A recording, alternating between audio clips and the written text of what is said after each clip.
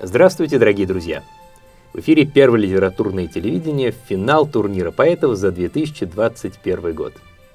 И я спешу представить наших финалистов, тех поэтов, которые прошли отборочный тур, четвертьфинал, полуфинал, ну и прошли, в общем-то, вашими молитвами, вашими а, голосами, когда мы выбирали тех, кто пройдет дальше. Итак, Ольга Гуляева. Родилась в городе Енисейске Красноярского края и живет в Красноярске. По образованию педагог-психолог. Работает по специальности частная практика. Автор стихотворных и прозаических произведений в самых разных жанрах, от лирики и реализма до фантастики и сюрреализма. Имеет более 50 публикаций в альманахах, журналах и сборниках России, Германии и Австралии. Автор двух книг стихов и трех книг прозы. Лауреат и призер нескольких региональных и международных конкурсов поэзии. Представлен членом художественного совета программы «Турнир поэтов» Игорем Бирюковым. Здравствуйте, Ольга. Добрый день. Александр Аберемок. Родился в Иркутске, живет в Белгороде. Имеет высшее образование, преподаватель русского языка и литературы. Публикуется в различных литературных и поэтических журналах, сборниках и альманахах, а также интернет-порталах. Пишет стихи и прозу. Призер и лауреат пятого международного поэтического конкурса «45-й калибр». Победитель международного литературного конкурса «Девятый открытый чемпионат Балтии по русской поэзии 2020». Победитель международного литературного конкурса «Кубок мира по русской поэзии 2020» представлен членом художественного совета программы «Турнир поэтов» Юрием Семецким. Здравствуйте, Александр. Здравствуйте. Спасибо большое за то, что удалось вас добраться до нас. Вот, так что у нас э, один человек реально присутствует в студии, и Ольга с нами по зуму, мы с ней будем общаться. Ну что же, друзья, поздравляю вас с выходом в финал. Спасибо. Это большое достижение, вы прошли три этапа в честной, упорной борьбе. А, и вот можно сказать, что у нас сегодня такой сибирский финал, потому что, Александр, вы родились в Иркутске, а долго там прожили? Четыре года всего. Четыре года. Но, тем не менее, все равно корни-то оттуда, так что у нас такой сегодня сибирский финал, я бы даже сказал, как это сказать, э, восточно-сибирский. Вот, будет интересно, найдем ли мы что-то в стихах вот такое от э, родных сибирских корней. А скажите, когда вот начинался турнир, э, были ли у вас предчувствия, что вы так далеко зайдете, Александр? Нет, не думаю. Никаких предчувствий не было. Думаю, ну как, ну поучаствую а там как получится. Угу. И вот, знаете, хорошо получилось. Да, нормально. Ольга, а у вас как были предчувствия? Плох же тот да, солдат, который не мечтает стать генералом. Плох тот турнирец, который не мечтает выиграть турнир. Ну, стихи не спорт, здесь всякое же могло быть абсолютно. Конечно. Соперники прекрасные были все. Да, тут я с вами полностью согласен. Конечно, мы, так сказать, говорим турнир, турнир, но все-таки главное для нас это стихи. Э, возможность поэтов заявить о себе, прочитать свои стихи, услышать разбор критика, найти новых читателей. А, конечно, победа в поэтическом турнире – это такая достаточно условная вещь. А, тут я с вами полностью согласен. Поэтому, но в любом случае, знаете, как говорится, три раза пройти три этапа, все-таки это уже не случайность. Скажите, что было, вот в принципе, ну, по, по сути, турнир уже позади, да, сегодня финал, но, в общем-то, все уже, кроме финала уже не будет ничего. Что за этот вот, э, за три этапа было самым сложным, а что, наоборот, самым легким, Александр? Самым сложным э, было, наверное, выслушать всю негативную критику. А была, да, негативная критика? Да, была. Среди наших критиков профессиональных или среди уже, так сказать, на э, портале? И среди наших, и на портале тоже немножко было. Ага, ага. То есть, в общем, профессиональной критики, я так чувствую, обиду в вашем голосе. Нет, не то чтобы обиду, просто... Но это было непросто, да, я да, понимаю. Да, да. Ну да, нет, ну у нас критики суровые. Ольга, что для вас было самым тяжелым, самым легким? Я тяжести-то забываются махом. Я могу сказать, что было самым радостным. Можно? Конечно самым радостным была поддержка людей, знакомых и незнакомых людей. Угу. Да. Ну да, могу вас, могу вас понять вполне. Но вообще у вас так получилось, Александр, что вы на всех критиков попали. У вас была Елена Пестерова, Галина Ивановна Седых и Галина Даниэльевна Климова. Угу. А вот э, Ольга у нас попала дважды на Елену Пестерову и один раз на Галину Ивановну Седых. А вот впервые у вас сегодня будет встреча с Галиной Даниэльевной Климовой. Так что, э, если Александр уже в некотором смысле, ну, как бы ждет, наверное, уже понимает, как его могут воспринять, то у вас такое, сейчас такая некая терра инкогнита присутствует. Да я смотрела передачу с Александром и Михаэлем. Да, да, я понимаю, но тут все-таки, я понимаю, что вы знаете, кто такая Галина Даниэлевна, но вы не знаете, так сказать, как она отреагирует на ваши стихи. Это, так сказать, некая интрига личная такая для вас, мне кажется, сегодня. Скажите, вот сегодня финал, две подборки у нас будет и два критика, друзья мои. Э, напоминаю, что в финале у нас будет сразу два критика, то есть такой по-македонски мы будем сегодня разбирать ваши стихи. Это будет Галина Ивановна Седых и Галина Даниэлевна Климова. И два сета будет у каждого автора. Александр э, и Ольга, вам такой вопрос. Как подходили к подбору? Надеюсь, что выбрали ну, самые сильные, самые хорошие, потому что уже откладывать, не, не копить уже некуда, финал, дальше ничего не будет. Александр, как вот вы к подборке отнеслись, к ее составлению? Я просто очень мало написал нового, поэтому все, что осталось, взял и добирал уже чем придется. Угу, угу, угу. Ну, мне кажется, что финал, может быть, я бы новое, например, может быть, если бы я попал бы в финал подобный, я бы, может быть, и не рискнул бы как раз новое вставлять, ну, потому что, ну, финал надо как-то, знаете, как показательное выступление, уже лучше собрать. Но это мне так кажется. Ольга, как, чем вы руководствовались, составляя подборки? Чувством ответственности, чувством осознанности. Угу. Но у меня одно новое есть. И оно будет сегодня? Оно будет сегодня, да. Класс. Новое в смысле вот написанное, свеженаписанное, да? Да, написанное вот буквально когда в ноябре на даче. Ага. Надеюсь, это там не посвящение критикам? Нет, нет. А то, мне кажется, финал выйти и какое-нибудь посвящение критикам прочитать. Такой ход мог бы быть. Ну и что ж, друзья мои, а я желаю вам удачи. Мне кажется, что главное, конечно, это вот то, что у вас есть в четвертый раз возможность прочитать стихи а, и новых каких-то читателей найти, чтобы ваши стихи были услышаны. Ну и перед тем, как мы бросим жребий, перейдем к чтению стихов, и к нам присоединятся наши замечательные критики, небольшой блиц, э, который подготовили наши редакторы. Александр, любое число от 1 до 7 назовите, пожалуйста. 7. 7. Пожелание себе на наступающий год. Издать две книги. Да, кстати, я вспомнил еще одно, что объединяет наших финалистов, что вы, э, помимо стихов, также э, пишете прозу. То есть вот не только Сибирь, матушка, но еще и э, проза тоже вас объединяет. Ольга, назовите, пожалуйста, одно число любое от 1 до 7. Троечка. Троечка. Что для вас важнее, критика, поддержка, эмоциональный отклик, внимание читателей? Да, все важно в равной степени. Это же вот все в комплексе идет. Оно все вместе.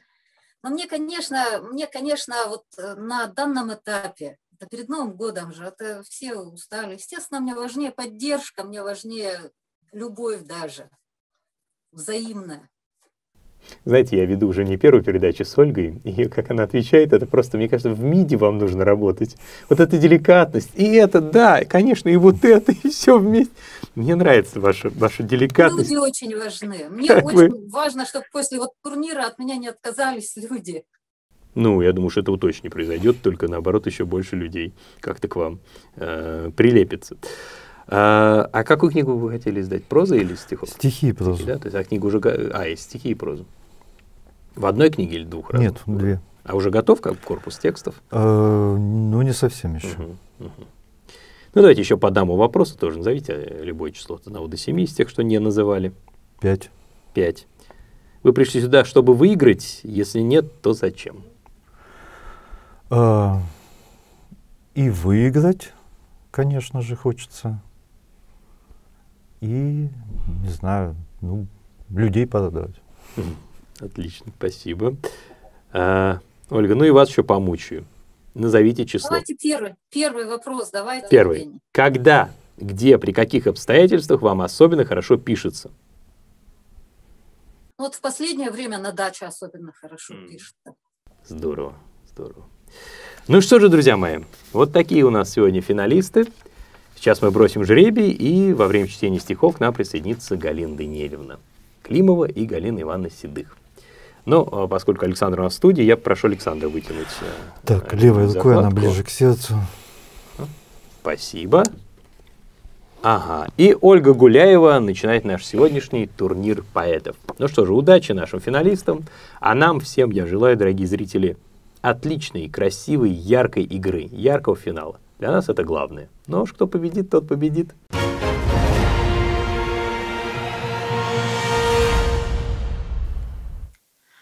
Загустевший воздух, хватая безвольным ртом, ощутив себя попавшим в капкан животным, размышляешь, вот человек человеку, кто? понимая, что человек человеку кто-то, человек человеку свет, мармелад, ТТ, человек человеку. Система Тополь, человек человеку. Асклепий, Сократ, Эйнштейн, человек обязательно человеку кто-то, человек человеку, пока человек живет, скорость звука, движение кровотока, человек человеку хлеб, человек человеку мед, человек живет, пока человек человеку кто-то. Строгая женщина. Строгая женщина сладкого молока медвежьего надоила. Греется самовар, зеркальные его бока. Чаепитие Гавриила и Михаила состоится, наверное, через час. Женщина накрывает на стол, молится истово, ломится стол, везде ароматы яств. Чаепитие обязательно состоится.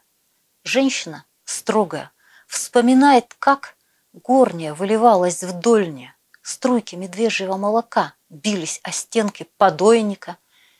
Гавриил садится, рядом с ним Михаил, красивые великаны. Строгая женщина чай наливает им в жерло земных вулканов. Один вулкан и второй вулкан становятся обыденными вещами. Снежинки молекулы молока, подвешенные в чай, не обращая внимания на людей, кричащих «Какого Сартра!» Ветки кустарников мочат в воде, их окунает в сахар, смотрит на них, полминуты ждет, сквозь свет любуется ими. И вот не вода, а байкальский лед. И вот иней. Строгая женщина наблюдает, как беседуют Гавриил с Михаилом. Строгая женщина сладкого молока, медвежьего, надоело. Комар. Лука закончен, будет начат марк. Лежишь и ожидаешь знаков сверху, а с потолка пикирует комар, обыкновенный и проникновенный. Комар поет противное «Ура!» и в мозг уже впивается идея, что нету никакого комара. Не были это снова двадцать девять, Лежишь и чешешь эпидермис весь от темноты паники зверея. А надо бы, наверное, прочесть еще и Иоанна, и Матфея. Встаешь, пыхтишь, идешь, включаешь свет, берешь огнетушитель и кувалду. А комара-то не было и нет. Но есть Матфей в земле обетованной, Валериана, психотерапевты, самолет и облако, и лето. А страха нет, оттенков страха нет. Уже не надо к психотерапевту. И некто, говорящий в голове, и некто в голове дождем стучащий, зовет курить, зовет встречать рассвет, при этом оставаясь в настоящем. Ты есть, и ты целуешь дождь, и пьешь его, и радуешься зверски. Все, что захочешь, ты еще прочтешь, и ты течешь в одной из лучших версий. Трамвай, хохоталище разявив, В себя народ впускают, как хозяев, Народ в одеждах из овечьих шкур. По Ленина идет со службы кто-то, Не ставший даже частью хронотопа, Шагает, спотыкаясь о бордюр. Порхают цвета пепла пепелацы, Порхает цвета пепла некто в ластах. Он не стритует, это просто аск, А тот другой — пылинка, он снежинка — и мой пять копеек будет жирно, но все туда же, вечно жаждет ласк. К бордюру припаркован форт Мандео, звонит жене его хозяин-демон. Мы, говорит, семья, имея в виду. Затем напоминает про тотемы, затем рычит, затем меняет тембр и добавляет «Встретимся в аду». Поезд на Вифлеем – Минус одиннадцать, снежно, погода во. Стоит на Казанском вокзале Тамбовский волх. Купил бутерброд, ему разогрели, съел, и вот он садится в поезд на Вифлеем. Гугл открывается, радуясь ста нулям и единицы. Поезд везет землян по городам, по воздуху, по полям.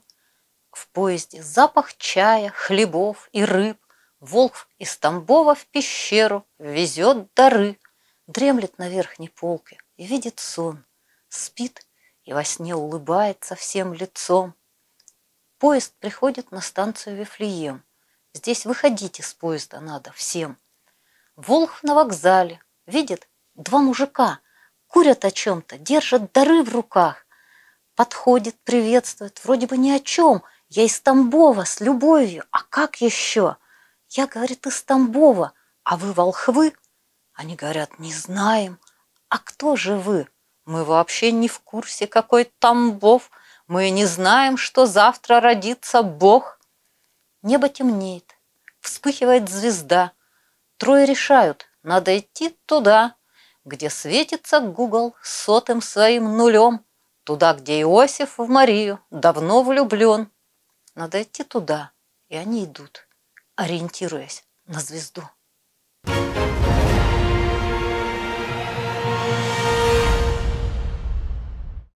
Ольга Гуляева в финале турнира поэтов 2021 года.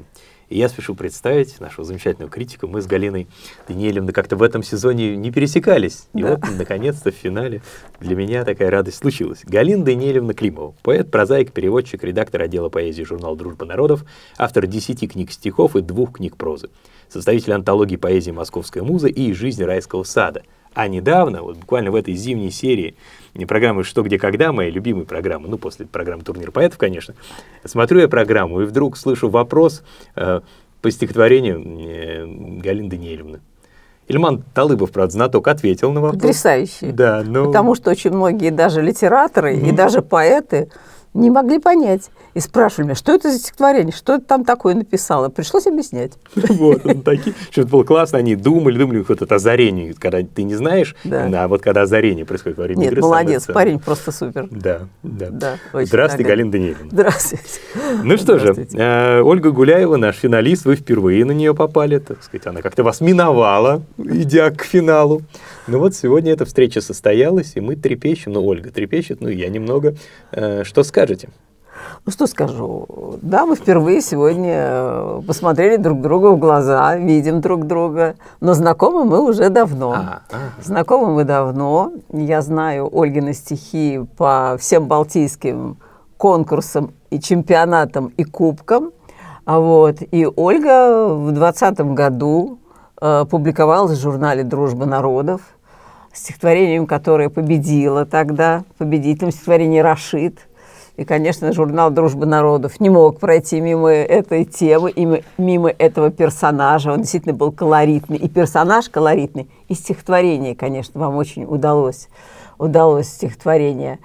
А, а в этом году я увидела, что э, Ольга опубликовала в журнале «Знамя» и тоже опубликовала мое любимое стихотворение «Поезд на Вифлеем». По-моему, оно тоже какой-то победитель, да, это из э, э, Балтийского конкурса. По крайней мере, я хорошо его помню, потому что я за него голосовала и выбирала вот этот топ из десяти стихотворений mm-hmm. конкурса. А оно очень тоже, мне кажется, это ваша удача это ваша удача. Поэтому... Я в связи с этим небольшой просто вопросик, прошу прощения, что как же, Ольга, вы о таких своих достижениях, как публикация в «Дружбе народов и знамени» умолчали скромно? Ну, вот. Это вы зря. Я зря, конечно. Я как-то нескромным посчитала. Ну, хорошо. Скромность украшает. Украшает. Я тоже так считаю, что скромность украшает. Пусть другие говорят, правда, Ольга? Ну вот мы вот хоть узнали сказала, к финалу, да, да мы узнали. Вот я сказала. Да. Вот, так что я считаю, что это здорово, очень хорошо. И потом вообще, мне кажется, что Ольга уже такой матерый автор. Угу. Вот, она совсем не начинающий автор.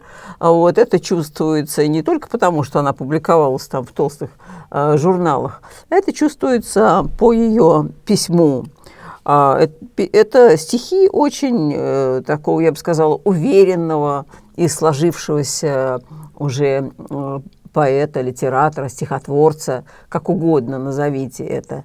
Но чувствуется, что есть уже сложившаяся поэтика, а, есть свой круг образов, тем, Вот, уже я вижу, что очень много библейских тем и вариаций на библейские темы, а, их такая вот модернизация, а, приближение к э, такому вот сознанию современного молодого человека, а, насыщение их э, такими э, штрихами и приметами времени, и лексики, а, и сознания. Мне кажется, вы этим очень увлекаетесь, и у вас, надо сказать, это получается. Это получается. Но, значит, что но? Но же обязательно должно быть. Правда? Мне кажется, вот первое стихотворение, вот первое стихотворение, загустевший воздух, хватая безвольным ртом, где вы пользуетесь вот этот э, прием анафоры такой вот, когда человек человеку свет, когда человек человеку система, человек обязательно все вот это. Да, этот прием, который уже стал довольно избитым и довольно банальным. И об этом уже пишут, я не знаю, уже несколько десятков лет. И вот мне кажется, и здесь он виден, он слишком обнажен, этот прием. Вы его демонстрируете, показываете. И мне кажется, вот эта открытость высказывания, а, в ней очень много назидательности, в ней много такой вот э, дидактизма.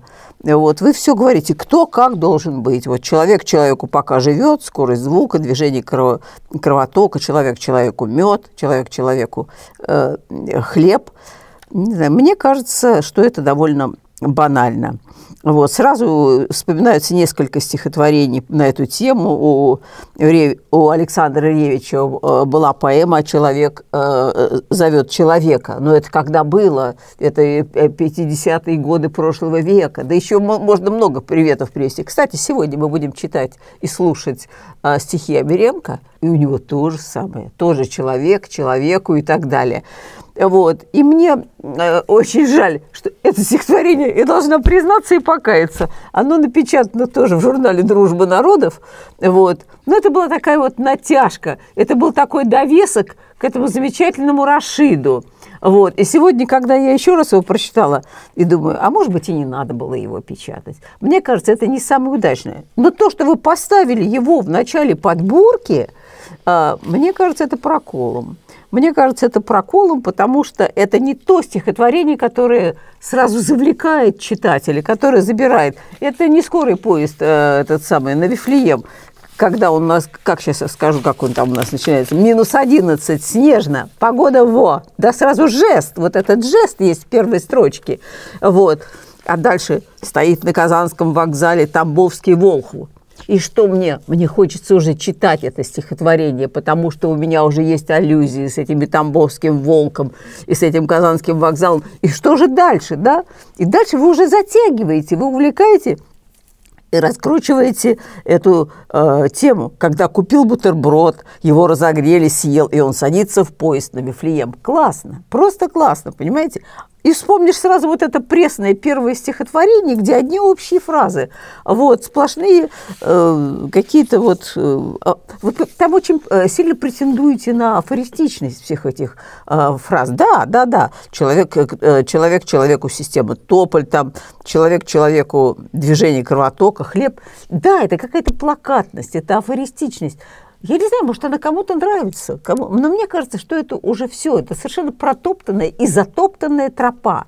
Вот. И она не даст ничего нового ни вам, как поэту, открывателю мира э, и открывателю вот этой картины мира, не нам, который эту картину вместе с вами э, смотрит и должен восхититься, должен удивиться, должен вздрогнуть. Да не вздрагивается, не вздрагивается. А вот здесь, когда этот Тамбовский Волхов садится с бутербродом в поезд э, на Вифлеем, здесь, конечно, все совершенно интересно. Здесь вот это очень интересное стихотворение, несмотря на то, что оно длинное, но оно прекрасное, как эти два волхва, и, и сразу же думаю, боже мой, да вроде как этих волхвов было три, вот, а потом понимаю, что тот, который подошел, вот это и есть третий волк. Я, и мне очень нравится здесь разговорная речь. Вот это вот подходит, приветствует, вроде бы ни о чем. А до этого фраза курят о чем-то, а потом она сталкивается. Вообще все у вас очень продумано. Вот, все очень продумано. Да, да, да, не удивляйтесь. У вас все очень продумано. Это и хорошо, и не очень. Вот, с одной стороны, видно, что вы работаете над стихами, и вы, так сказать, очень осторожны со словами, экономны и бережны. А это очень важно, быть бережным к слову, потому что здесь нет особых костылей, здесь нет никаких-то вот э, заглушек, которые отсутствие э, слога в, стро э, в строке как-то затыкают, дополняют. Здесь нет. Вот даже вот эти две э, строчки. Курит о чем-то, держит дары в руках. Подходит, приветствует вроде бы ни о чем. Но это уже работает, это все работает, и курит о чем-то, и приветствует ни о чем. А дальше идет замечательный э, разговор. Я из Тамбова с любовью. А как еще? И, знаете, сразу ты много-много ассоциаций. Вот эта фраза вроде бы простая. Я, говорю, ты из, из Тамбова, а вы волхвы? Они говорят, не знаем. А кто же вы? Мы вообще не в курсе, какой Тамбов, и мы не знаем, что завтра родится Бог. Прямая речь с юмором, с какими-то такими вот хохмочками, которые понимает современный человек, вот, и схватывает на антитезах, вот, и вот это придает такую интонацию, то, что вы вот такой вот ну, совершенно вот разговорную речь вели, это очень сильно как-то вот, я не знаю, оживляет вот этот вот библейский сюжет. Вот. Он делает его живым, он делает его современным, и в хорошем смысле слова современным, не осовременивает. Ну, все хорошо. Это, ну, вот я сказала, мне кажется, это одна из ваших удач. Одна из ваших удач, вот это вот стихотворение. Если бы я составляла подборку, если бы я была Ольгой Гуляевой, я бы начала подборку именно с этого стихотворения. Потому что оно очень привлекательное, очень притягательное, и оно получилось. А с другой ведь закончить сильным стихотворением тоже важно. Ну, тоже важно, да, тоже важно. Где их взять, столько сильных да. стихов, да? Где их взять? Оно длинное, но оно не затянутое. Нет, оно не затянутое. Да, да. И вот даже вот этот диалог между волхвами, он сильно очень оживляет угу. вот это вот описательство. Даже вы, конечно, очень изобретательны в, этих, и в образах, а, но, но этот э, диалог, он совершенно придает mm-hmm. такую какую-то другую окраску, а тут появляется юмор. И такой он хороший, живой, человеческий совершенно уже язык. Такой вот, э, это, мне кажется, очень хорошо. Mm-hmm. Она не сделала, Ольга не сделала из этих волхвов действительно каких-то библейских персонажей, она сделала их живыми людьми. И мы их понимаем. И мы, наверное, их видим, как они идут. И, и ищут что Бога. мы тоже немного волхвы. Да, хочется так да, думать, да? да, хочется так думать. Ну что, вот это стихотворение про автопсихотерапию «Комар», когда читаешь э, Библию, Ольга так вообще прям-таки советует, вот читайте вроде Библию, и это лучше всяких антидепрессантов. Правда, все-таки Марк идет до Луки, ну ладно. Ну, ну не важно. Считать, Она что... могла ну, да, прочитать, хорошо. или он, поэт, ну, мог да. прочитать не подряд, не, подряд, не последовать, хорошо. как мы все читаем, кусок оттуда, кусок отсюда. Редко кого хватает, чтобы сразу прочитать а, вот, э, Библию, там, Евангелие от Марка или Евангелие от Матфея от начала до конца. Надо быть очень закаленным и твердым а, христианином, чтобы это все прочитать. Вот. Ну, у нее вот так вот. Я считаю, что это вполне допустимо. это вот вся, э, вся суета на нашей жизни, вся суматоха, вся непоследовательность. Вот это все отсюда. Здесь очень много э, таких вот противопоставлений. Длинной строкой написано э, стихотворение с внутренними рифмами. Причем, как мне показалось, а даже внутренние рифмы, вот это вот Марк, Камар, там, Ура, Комара, вот, и они даже как-то и получше, чем концевые рифмы, которые у вас вроде бы даже и ассонансы, а вот, проникновенные, обыкновенные, сверху 29. В общем, как-то с рифмами здесь, мне кажется, стихотворение держится на внутренних рифмах. Оно держится на внутренних рифмах. А, здесь, ну что мы еще видим здесь? Такую вот антитезу высокого и, и низкого, а греховного и такого вот э, библейского. Вот, с одной стороны, некто говорящий в голове, и некто в голове дождем стучащий, зовет курить. Это после того, как Библию прочитал, да, зовет курить. Встречать рассвет, при этом оставаясь в настоящем. Ты есть, и ты целуешь дождь. А ты целуешь дождь, уже в голове дождь стучал до этого. Строчкой э, выше и некто в голове дождем стучащий. Ты целуешь дождь и пьешь его, и радуешься зверски. И вот это вот, я говорю, столкновение горнего и дольнего, высокого и зверского в человеке, оно, конечно, с одной стороны, вот особенно ты целуешь дождь, прям вообще какой-то цветаевская такая, по поэтизм такой, красивость, и как-то я даже так э, передернула плечами, но как-то у вас другая поэтика, она более строгая, вот, и все, что захочешь, ты еще прочтешь. Но концовка меня, вот это «и ты течешь в одной из лучших версий», вот я не люблю, когда поэты как-то вот себя чуть-чуть возвышают, что ты течешь Э, в одной из лучших версий, ты достойна. Я этого достойна. Помните вот эту кошмарную рекламу, которую вообще смотреть без вздрагивания уже невозможно. И ты достойна эту. И здесь тоже. И ты течешь в одной из лучших версий.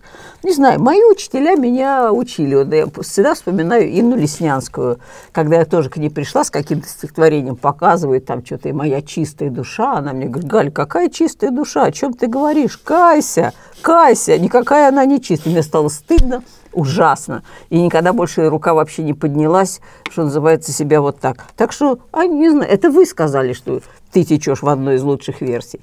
Вот, сейчас... Но я, правда, немножко по-другому. Ты понял, как э, хвалу творению, что не ты такой хороший, а что само творение. Но все равно, это надежда. Да, да, да, это все равно. Как-то Бог хорошо все придумал. Ну, Бог хорошо все придумал. Мне кажется, как-то здесь, может быть, э, и я не знаю, может быть, об этом надо сказать по-другому, чтобы было понятно и не было тогда таких разночтений. Вот то, что вот ну, сейчас да, да, вот да. между нами происходит этот диалог, э, он возник. Значит, что-то не очень точно. Это значит, что-то да. не очень точно. Это правда.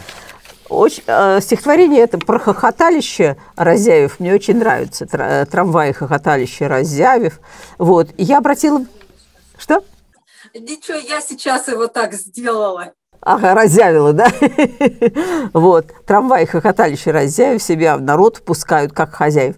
Оно, оно мне очень привлекло своей лексикой. Боже мой, я даже выписала некоторые э, слова. Тут э, это самые, какие тут слова. И пепел пепелации, и разявив эти хохоталища, и хронотоп, и бордюр, вот, и аск, и тотемы, и тембр, и стритует. И не потому, что это вот слова в основном такого вот иностранного происхождения, это, это наш э, лексикон, это те слова, которыми мы сейчас объясняем, говорим, и вы не побоялись их и уместили сюда, употребили э, в стихах. Мне кажется, они здесь смотрятся довольно гармонично. Все эти демоны, тотемы, и Форт Мандео, тембр, ад, в общем, чего-то только. И оно хорошее, это стихотворение. Здесь есть э, сюжет, здесь, здесь есть такая вот психологическая коллизия внутри этого стихотворения, и мне кажется, она вам удалась. Вы ее не напрямую высказали, а вот не напрямую ее высказали, а вот там по Ленина идет со службы кто-то, не ставший даже частью хронотопа, шагает, спотыкаясь о бордюр. Потом идет вот это вот описание этой городской жизни, э, вот, и этого человека, вот, и в конце концов э, рычит, меняет тембр и добавляет «встретимся в аду». Мне кажется, что это вот такая вот э, лирика психологическая, психологическая лирика, это сцена, и это, это маленькая городская драма. Это маленькая городская драма. Я так бы определила вот э, тембр, ой, тембр, э, жанр этого стихотворения. Видите, я тоже внутри рифмую тембр, жанр. Вот. Ну что еще сказать? Вот стихотворение «Строгая женщина». Строгая женщина. Кто она, эта строгая женщина? Вот первое, что я хотела бы вас спросить как автора. Что это за строгая женщина, которая собрала двух архангелов на чаепитие? Вот. И... Как я думала, вот на момент написания я не думала о том, кто это строгая женщина. Ну, то как есть вы я, не могли у меня думать? картинка в голове была, я ее вот решила реализовать как-то. Мне интересно, как воспримут, как воспринимают эту строгую женщину, кем ее воспринимают. Для меня это помощница создателя. Для Кто меня такая это помощница, помощница создателя. создателя. Кто?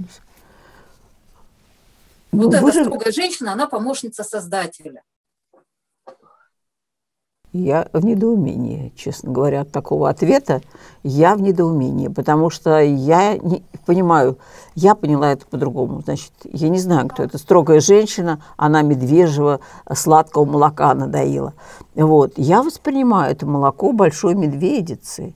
Из ковша большой медведицы она надоела. Не просто э, зверя этого самого, медведя, а греется самовар, зеркального бока. Чаепитие Гавриила и Михаила. Тут сцена вот этого чаепития, э, этих двух архангелов.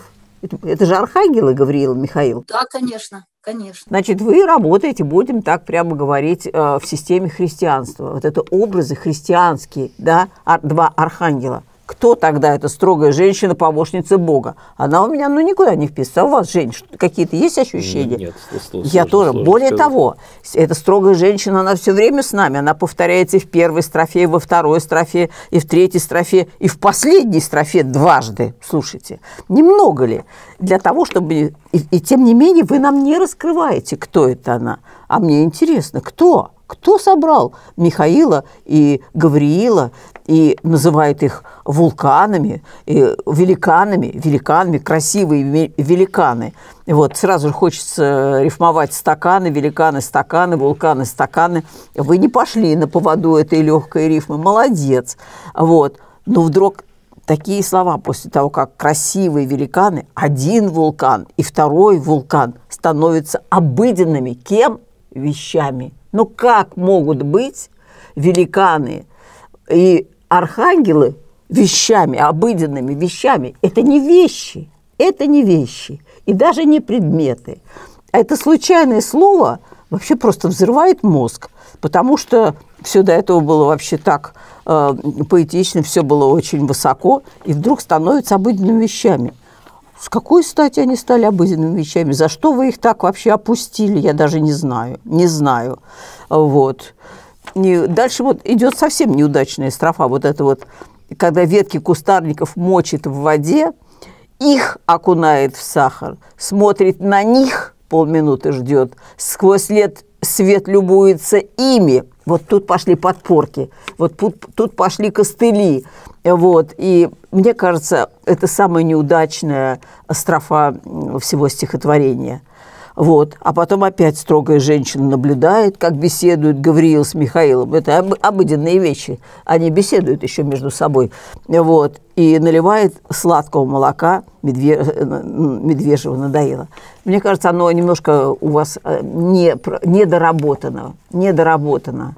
Вот, интересный замысел, но мы так и не поняли, зачем они собрались на чаепитие Михаил с Гавриилом, о чем они там говорили, и кто эта строгая женщина, которая их собрала, их собрала, архангелов. Но я не понимаю. Может быть, вы мне объясните. Так я, собственно, так же, я говорю, вот картинка, была вот эта картинка в голове. Женщина может быть помощницей Бога, помощницей, она может быть природой. Ну, то есть это вот э, вообще вот это о природе. Ну, дайте маленький ключик, чтобы мы вообще думали, что это мать природа. Вот, я не знаю, что еще. Но какой-то ключик, а просто, получается, строгая женщина, я не знаю, кто она, буфетчица, вот, помощница Бога. Ну, кто она? Э, на молочной ферме работает. Вот, я не знаю, в магазине молочница. Вот молочница, да. Но дайте какой-то ключ. Это Дайте... мама строгого юноши Олеша. Есть бабушки, да, которые, ну вот, э, принимают людей в деревнях, такие бабушки, которые лечат, ну, то есть о которых не принято говорить в, хри- в христианстве. Это... Почему? Знахарки? Почему? Знахарки, Говорят, знахар... но они, про них не принято в христианстве. Ну да, это, да, это да. Это такая апокрифичная такая женщина. Ну вот, не знаю, у меня не создался образ. в процессе творения, допустим. У меня этого образа здесь нет. Это вы уже сейчас додумываетесь и пытаетесь как-то объяснить и оправдаться. Это должно быть в стихотворении. Пусть это не, не сказано в лоб, но вы должны дать какой-то намек, какой-то ключ к этому. Потому что у меня это вызвало просто недоумение. Просто недоумение. Что это за женщина такая? Она, конечно, интересная.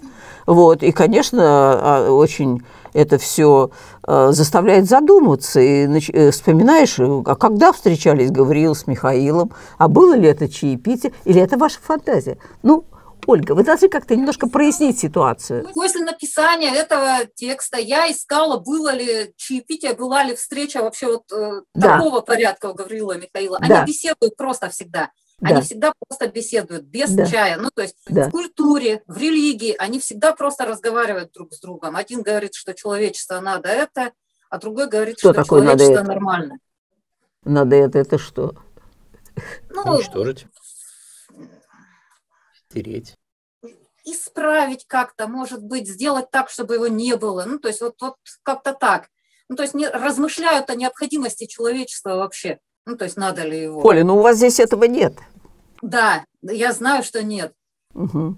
Ну, и, в общем, я вот искала как... уже после написания текста этого. Я искала после написания текста этого подтверждения какие-то ему. Я их э, вразумительных не нашла, ну, то есть особых не нашла, но вот свое ощущение природы вот таким образом, мне захотелось его передать. Мне захотелось я поняла, его, я поняла. Видели. Мне кажется, может быть, вы еще и вернетесь к этому стихотворению. Возможно, возможно. Это, оно действительно, оно интересное. А вот, его хочется читать, но оно не до, в этом есть недосказанность. Но не та хорошая недосказанность, о которой мы всегда говорим, что должна быть недосказанность. Дайте читателю додумать и быть вашим э, сотворцом, соучастником. Вот. Но мне кажется, здесь вот какая-то непроговоренность, недоговоренность есть. А какая вы даже сами не знаете. Да, вот я судя по ответам Ольги... Оль... Я надеялась, что мне здесь скажут. Вот и я вам сказала, что вы сами не знаете, о чем вы хотели написать. Вы не знаете, кто такая строгая женщина, и вы не, не, не, не, не знаете, о чем э, э, было вот это чаепитие, о чем они там говорили, Гавриил с Михаилом. Я о природе писала. И было ли? Вообще писала. само, что, чи, э, само вот это вот действо чаепития Гавриила и Михаила, это действительно очень привлекательно, угу. это действительно обаятельно. И у читателя, вот вы поставьте себя на место читателя, да хочется мне узнать, мне очень хотелось, что они там, о чем говорили-то. И строго из женщин, зачем она их собрала? Этого стихотворения нет. Этого нет. Есть только начало этого действия. О чем, зачем, почему вы нам не сказали. А хочется, а хочется узнать. Мне бы тоже хотелось. Ну подумайте, может быть, действительно вы и доскажете то, что не досказали. А бывают же такие поэты, которые пишут и сами не понимают, что пишут. Конечно, бывают. Может быть, Ольга вот к ним Конечно, бывают. Может быть, Ольга язык а, а читатели бывают, которые читают и не понимают. Вот. Нет, а бывает, что читатель, который понимает, и то, что автор да. не думал, что он вкладывал, вот ему так нравится. Вот да, Ольга говорит, да, расскажите да, мне говорит, про да, мое стихотворение, да. расскажите мне. Да, да, Она да. говорит, я надеюсь, что вы скажете, кто такая строгая женщина. Да. Но мы не сказали, к сожалению. Да, но диалог состоялся. Но диалог состоялся. Да, мы поняли друг друга. Вот. Ну что, Ольга, есть э, что-то спросить, что-то добавить, поблагодарить? В общем, вам сейчас слово. Я только поблагодарить могу. Спасибо, Галина Даниловна. Спасибо большое. И вам спасибо за стихи. И вам спасибо за стихи. Спасибо. Ну что же, это был первый сет от Ольги Гуляевой, а сейчас мы приглашаем на нашу сцену поэта Александра Аберемака.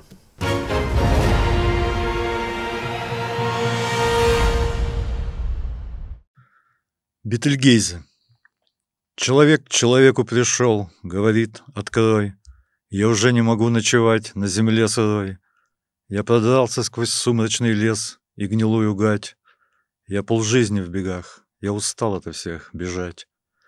Догоняют враги, не откроешь и мне каюк. Человек человека послушал и дверь на крюк. У него сыновья и жена, и белья бадья. У него именины, и правда всегда своя. Человек удивляется, снится такая чушь. В подошедший трамвай забирается неуклюж. И, и садится, и молча глядит в ледяную тьму. И гадает, гадает, к чему этот сон, к чему. Почему, что осталось внутри, то сидит внутри, А из слабой груди на полметра торчат штыри. Почему за окном и на сердце полярный лед, И трамвай Альтаир Бетельгейзе в депо идет. Седма Вульгарис. Неотправленное письмо. Долгие годы писал я стихи и прозу, Что ностальгия приводит порой к циррозу, Что меж идущих на смерть кораблей Гомера Пену сбивает с волны и моя триера, Что преисполнен отвагой иду на Трою, Как подобает лирическому герою. Я божился любимой, отныне не тревожить на кичке сарынь, Не писать ей стихи на латыни, потому что вульгарна латынь, Не делить на чужое и наше, не показывать Кузькину мать, Но такие заваривал каши, что и Гурьеву не расхлебать. Ведь в пределах моей айкумены происходит сплошной кавардак. Я хотел, чтобы приснилась Елена. Мне приснился матрос-железняк. Подбирая нелепые фразы, безуспешно слова теребя, я хотел объясниться и разом потерял ее и себя. Наша любовь — это салочки, прятки, жмурки, сказка, в которой всегда не пассивки бурка. Нечто размытое, бред, пустота, химера, все затянувшее чем-то безумно серым, то ли тоской по заоблачным горним высям, то ли золой неотправленных мною писем. Фонарь.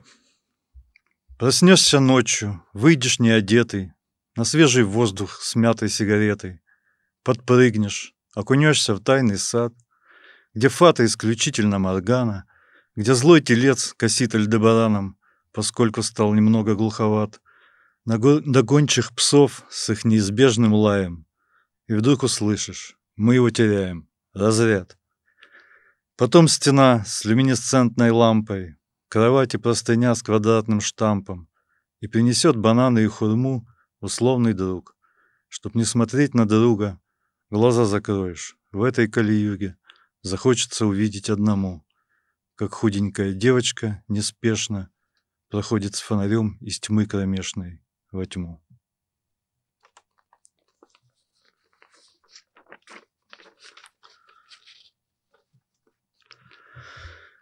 Пятнадцать лет посвящается моему другу Алексею.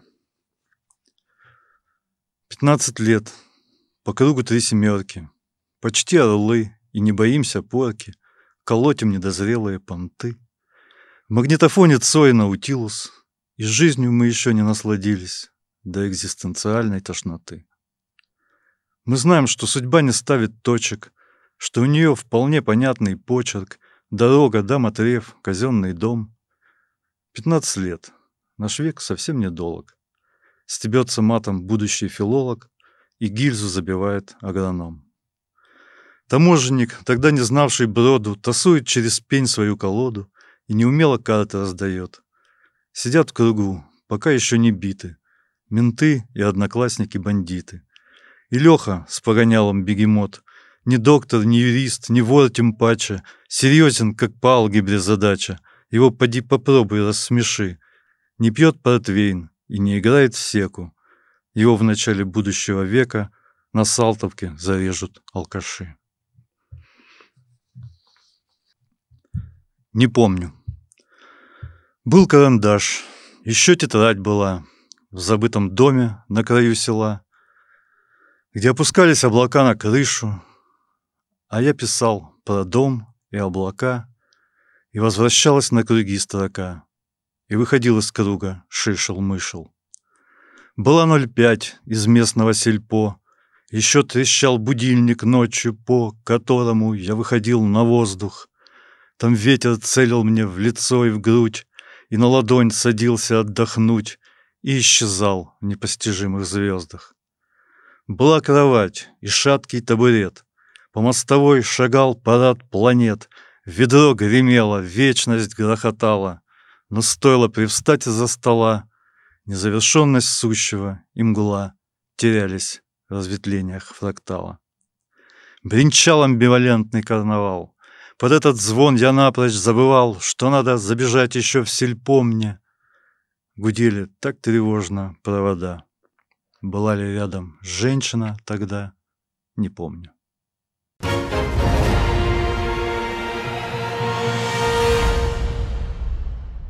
Александр Аберемок в финале турнира поэтов 2021 год, Галина Даниэльевна Климова, и мы сейчас перейдем к обсуждению стихов Александра. Галина Даниэльевна, что скажете? Ну, что скажу, что я уже с Александром встречаюсь второй раз. Мы первый uh-huh. раз увиделись на полуфинале. Это было совсем недавно, и у меня в памяти хорошо отложились ваши стихи. А у Александра вот. ваш разбор. Ну, я думаю, что это менее приятные воспоминания, чем стихи.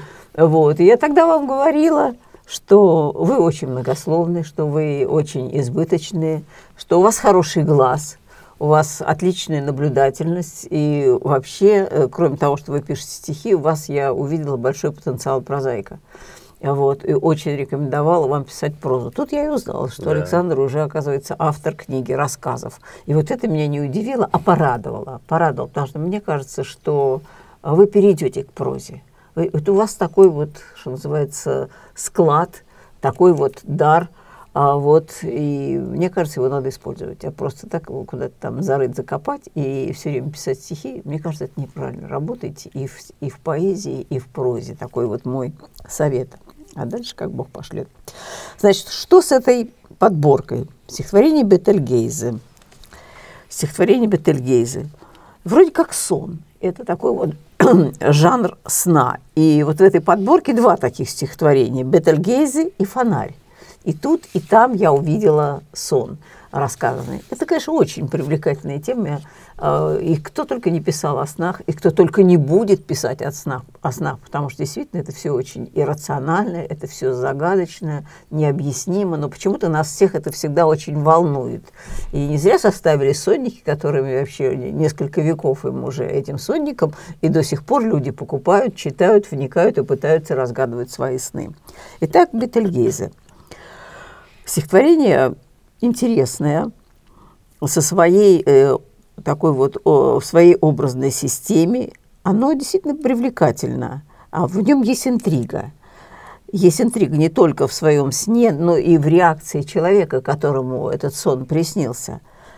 Что мне кажется неудачным, это первая строка. Человек к человеку пришел, говорит открой. Вот это вот человек к человеку – вот мы уже только что обсуждали угу. а, стихи Ольги Гуляевой, которые «Человек человеку» было э, написано на эту тему целое стихотворение. Она там пишет прям все, кто есть человек человеку. По-моему, там основное все разобрала. И положительное, и отрицательное, и волк, там и, и хлеб, и мед, и Сократ, и вообще кого там только не было.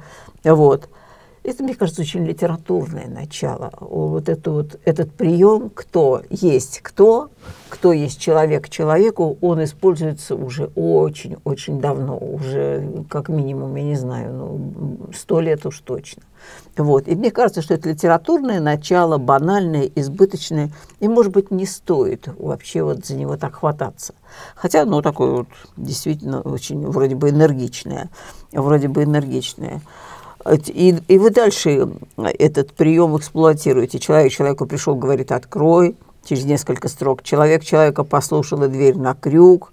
И потом во второй э, строфе человек удивляется, там снится такая чушь.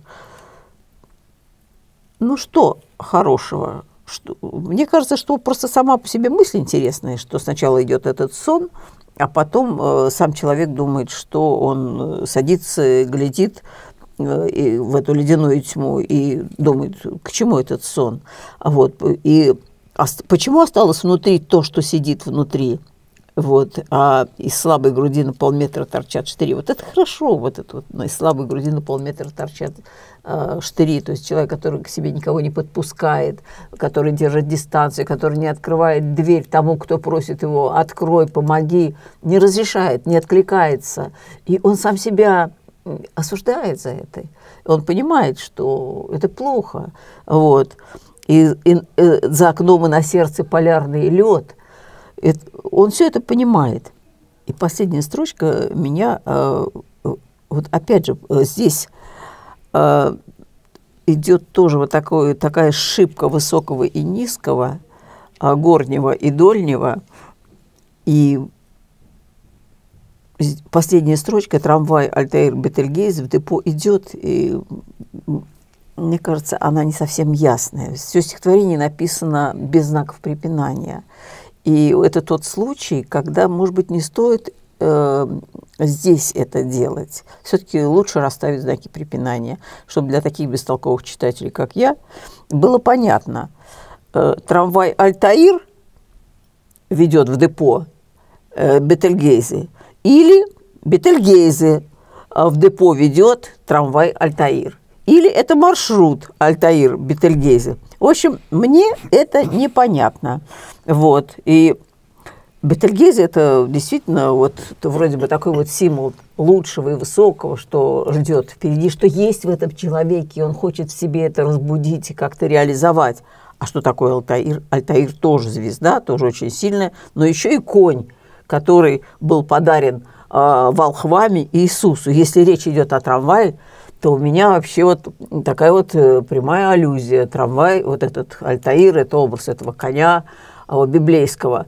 Вот. Поэтому она красивая, эта строчка. Она очень красивая, и вы правильно сделали, что вы закончили этой строчкой, что он ведет в депо. Это все очень хорошо. Но поставьте здесь дефис. Трамвай Альтаир Бетельгези. Это маршрут этого трамвая от одной большой звезды до другой большой звезды. И представляете, как это вообще расширяет пространство стихотворения и конкретно этой строчки, какое символическое она а, приобретает значение. А, а все дело в маленьком э, дефисе или тире там что э, ставится. Вот. А нормально будет смотреть, если нигде больше знаков не будет, только нет, здесь? Нет, надо, наверное, везде поставить, чтобы не вызывало вопросов последняя строчка. Мне тоже кажется, что ради этой строчки стоит поставить стоит, запятые. Вы так да. сильно не погрешите, да, я думаю, да, да. не наступите себе на горло, вот, и поставите знаки препинания. Угу, угу. Вот. Мне кажется, это так. А так сон. И вот еще другой сон у нас есть. В стихотворении «Фонарь», где действительно проснешься ночью, выйдешь не одетый на свежий воздух с мятой сигаретой. Вот этот свежий воздух с мятой сигаретой, получается, это э, мятая сигарета, это который воздух. Вот, понимаете, что получается? На, опять поставили бы здесь запятую на свежий воздух с мятой сигаретой. Я прочитала бы так. А вы пишете на свежий воздух с мятой сигаретой. Вот, вот, вот куда вы вышли, а не с сигаретой. Здесь, конечно, и Фата Моргана. Вот опять, мы с вами прошлый раз говорили. Я еще раз хочу сказать, что да, я вижу, что вы человек начитанный, вы много знаете, у вас хороший словарный запас, вот, но вы выплескиваете в стихотворении там на 15, на 12 строчек, выплескиваете все, что вообще вы знаете, все, что у вас есть. И тут же, смотрите, подпрыгнешь, окунешься в тайный сад, где фата исключительно Моргана, явление пустыни. В саду фата Моргана никакой быть не может, в принципе, если вспомнить, что такое фата Моргана. И тут же, где злой телец Хасид Альдебараном. Понимаю, что идет игра слов тельца, барана, Альдебарана, вот, э, ассоциации такие. Это все понятно. И ведь очень вы любите играть. Вы очень любите играть словами, но это вас иногда губит. Иногда это интересно, вы попадаете в десятку, но иногда это вас губит. Именно вот эта вот э, такая необязательность, неточность. Вот. И тут же тебе гончие псы с, с их неизбежным лаем. Вот. И тут последняя строчка, которая действительно как разряд. И вдруг услышишь, мы его теряем. Вот это вот была все эта красотень, была вся эта поэтическая, вся вот эта вот эта картинка, где все. И вдруг очень хорошая, скупая, Александр, услышьте меня, пожалуйста, скупая, но очень точная строчка, мы его теряем, разряд. Вот так надо писать. Вот так надо писать, когда читатель вот так вот останавливается и вздрагивает, и понимает, что это все не кухры-мухры, и не Фата Моргана с этим самым косящим Альдебараном. Вот. А это мы его теряем, разряд. Все. И ты тут теряешь, а, а, просто останавливаешься, а потом пошло опять. Потом стена с люминесцентной лампой, кровать и простыня с квадратным штампом, и принесешь бананы и хурму. Но это еще, еще как-то ничего. Здесь какая-то такая вот, а, какой-то быт вот этой палаты реанимации, наверное, или просто там вот палаты интенсивной терапии. Да, я вас понимаю и принимаю это. Здесь все более-менее аскетично. Вот. Потом я вам не могу простить смотреть на друга и в этой Кали-Юге. Эти, эти рифмы, так сказать, рифмы я вам не прощаю. А потом, как худенькая девочка поспешно приходит с фонарем, из тьмы кромешной возьму. Хорошая концовка, угу. очень хорошая. Конце... Э, понимаете? И прям мне жалко даже это стихотворение. Вы его так все расцвечивали, расцвечивали, все завлекали нас в этот сад там, со всей этой Фаты Морганой. И даже Кали-Югу сюда вообще вставили. Ну все, я уж не знаю, чего вы вообще там оставили. А ведь все стихотворение э, строится и вдруг услышишь, вот на этих строчках, и вдруг услышишь, мы его теряем, разряд. И вот пос, э, потом захочется увидеть одному, как без кали-юги, без ничего, а захочется увидеть одному, как худенькая девочка неспешно проходит с фонарем из тьмы кромешной во тьму. Хорошо. И не надо ничего придумывать, не надо бояться этого. Мне кажется, вы этого даже боитесь. боитесь. Вот вы боитесь свои, своего вот этого прозаического взгляда, вы боитесь его перенести в поэзию. Вам кажется, что это не поэтично, что это некрасиво. А вот не надо этого бояться, потому что это сильно и это настоящее, этому веришь, а не вот этой всей вот фатоморгане, которая была до этого. Мне кажется, это так. Вот два стихотворения, два разных сна – да, вот mm-hmm. это мы сейчас посмотрели. Вот, что еще? Стихотворение не помню, стихи о стихах, о том, как пишут стихи, что переживают во время этого. Мне кажется, я уже тоже говорила здесь, что это одна из самых распространенных, самых популярных тем. Вот она стала модной. Она стала модной не от хорошей жизни, а от того, что очень мало читают стихов, очень мало стихов публикуют, и стихи вообще становятся такой э, просто какой-то такая вот маргинализация поэзии происходит. И поэтому поэты, защищаясь э, вот, и как-то компенсируя это, они пишут о стихах. Может быть, хотят достучаться до читателям. И, конечно, хотят выразить самого себя. Как... Это все трудно ведь писать стихи. Это же все это надо пережить. Вот, это все надо переварить в себе.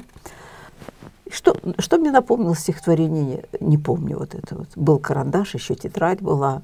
Вот, а вот это вот трещал будильник ночью, по которому я выходил на воздух, там ветер целил мне в лицо и грудь.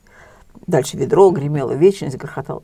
Удивительно, наверное, но меня это напомнило стихотворение Мандельштама. Умывался ночью во дворе, твердь сияла грубыми звездами, звездный луч, как соль на топоре, стынет бочка с полными э, краями. Почему-то мне напомнило, вот это вот чисто, может быть, зрительно или ассоциативно вот эту вот сцену. Вот, особенно, когда тут ведро гремело, вечность грохотала. Вот. И здесь вы тоже уже, тут у вас и, и фрактал, и шишел-мышел, вот, и амбивалентный карнавал особенно меня восхитил. А что он делал? Это амбивалентный... Он бренчал, как он нравится, бренчание карнавал. Он бренчал.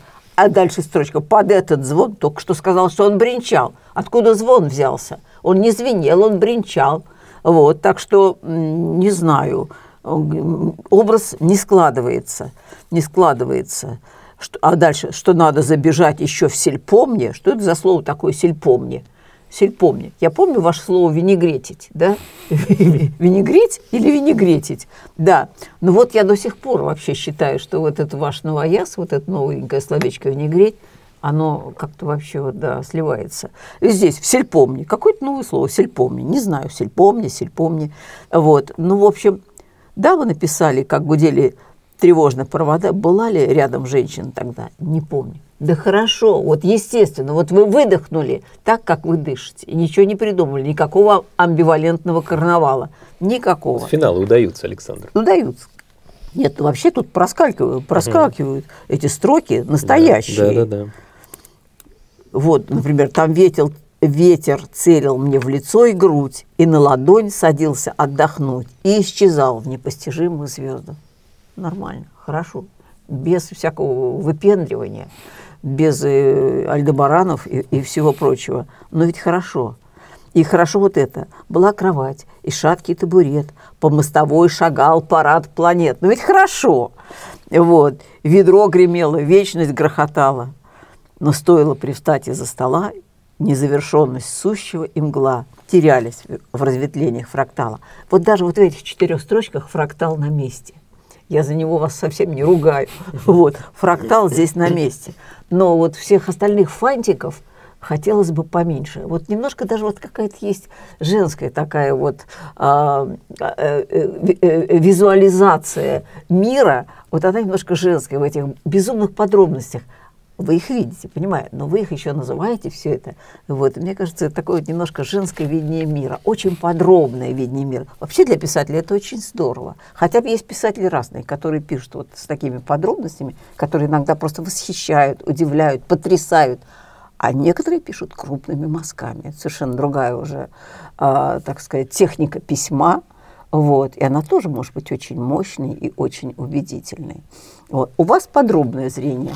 У вас подробное зрение, и это Хорошо. Так, что хочу сказать про стихотворение э, Сермо Вульгарис. Оно интересное, потому что здесь, здесь интересна строфика. Жалко, что наши э, зрители, слушатели не видят этой строфики, ну, может быть, показать. Показать. Потому что здесь есть э, две строфы, шестистрочник, а между этими первой и последней строфой э, стихотворение написано, э, текст написан в формате А4. Хотя на рифмах. На рифмах. Я думала сначала проза, нет, нет. Вот. И здесь, по-моему, если я не ошибаюсь, здесь вот первая и третья строфа трехстрочные дактилем написана, и в серединке идет анафист. Вот. Что я могу сказать? Это мне, мне понравилось. Мне понравилось. Мне понравилось, хотя против чего я? Вот как обычно вы здесь вообще. Сами себе не изменяете. С одной стороны, это тоже хорошо. Ну, на кичке сарынь. Ну, сарынь на кичке. Вот. Это все-таки идиома, как мне кажется. Такое очень устойчивое выражение. И я считаю, что вот э, это недопустимо менять идиому. Вот. Ну, может быть... А разве нет такого приема, наоборот, чтобы ее как-то оживить? То есть она и так всем известна? Да, мы... да. Ну, не знаю. Мне как-то вот... Я, наверное, очень консервативна. Вот. И мне хочется, чтобы они прям тут... А дальше, между прочим, только Кузькина мать заваривала каши. Вот. Э, тут нормально, значит, не прием. Я понимаю, что если бы это был прием, угу. вот, и везде бы он там писал не Кузькину мать, а мать Кузьмы или Кузьки. Вот это было бы понятно. Заваривала, я не знаю, там каши. Вот. Не знаю, надо быть тогда как-то последовательным. А там же вот есть э, гурьевская каша. Есть. Что и гурьева не да. Тоже измененное выражение. Из, да, но вы опять замечательно проговариваетесь. Вот там, где, кстати, в том стихотворении, где винегреть, вы вот с этим словом, вы отлично проговорились, это вы о себе. И здесь тоже, подбирая нелепые факты, безуспешно слова терепя, я хотел объясниться и разом потерял и ее, и себя. Вот мне тоже кажется, что вы часто теряете себя. Почему? Вы увлекаетесь, Александр. Вы идете на поводу своих слов, образов. И вы, вы э, просто бросаетесь в омут, просто бросаетесь, я не знаю куда, с головой. И вас это поглощает. Я в прошлый раз вам тоже говорила, ну не идите на поводу своих слов, какую-то внутреннюю дисциплину, какие-то тормоза включайте. Вот. Я думаю, здесь это оправдано. Э, рассказчик, лирический герой э, тяжело переживает разлуку с любимой, да, угу. и поэтому он, он говорит, говорит, он и многословен, поэтому... Ну ладно, я вам поверю. Я вам поверю. Я вам поверю это. Вот. Ну что ж, мне кажется, оно было тоже одно из самых интересных стихотворений, представленных в этой подборке. Мне кажется, что подборка, составленная вами, в этот раз лучше, чем она была в полуфинале. Вот. С чем Спасибо. я вас опыт, поздравляю. Опыт. Спасибо большое. Сын ошибок трудных. А 15 лет стихотворения вы, по-моему, ничего не сказали. Ничего и сказал, да. Сейчас, одну секундочку, я его найду. А, вот это стихотворение, которое я для себя обозначила, что это стилизация под Рыжего. Под Бориса Рыжего. Вот так я его и обозначил. Да, это сюжетное стихотворение, в общем, действительно рассказ про своих друзей, одноклассников. Одни менты, другие бандиты и бегемот. Вот. И судьба этого бегемота. Но вот здесь вот, поскольку оно сюжетное и прям, скажем, так сказать, ближе к прозе, вот любой нарратив, он все-таки ближе к прозе. Угу. Вот, мне кажется, оно вам удалось без вот этого такого сильного выпендрежа, а просто приметы времени, а, любимые места, любимые, так сказать, э, я не знаю, как там, то, что вы знаете, то, что вы пережили сами, стебется матом будущий филолог, и гильзу забивает огромную. Ну, в общем, здесь э, э, реалии реалии вашей юности, вашей жизни. Вы ничего здесь не придумали. И они не дают тут уйти куда-то в не дают. дебри. Здесь ничего не придумано. Здесь угу. это... К сожалению, ничего не да, придумано. Да, я понимаю, я ну, понимаю. Да. И эта боль в стихах, она чувствуется, вам удалось ее передать. Вам удалось передать эту боль потери своего друга, его трагическую такую судьбу. Хороший парень, а об этом пишете, что он хороший парень-то. Вот. Так что, вот мне кажется, оно сильно отличается от всего остального. Потому что вот там, где вы пытаетесь придумать, вас несет. Вас несет просто э, сломя голову. А вот все-таки бывают и строфы, и отдельные стихотворения, где вы в себе. Вот вы не выходите из себя, а вы в себе. И тогда у вас это получается. У вас это получается. Спасибо. Не за что. Спасибо Вам большое, спасибо. Галина Даниэльевна. Я заслушался. Ну что же, это был Александр Аберемок в финале турнира поэтов. А мы сейчас приглашаем, вновь будем слушать вторую, второй сет Ольги Гуляевой, и к нам присоединится Галина Ивановна Седых.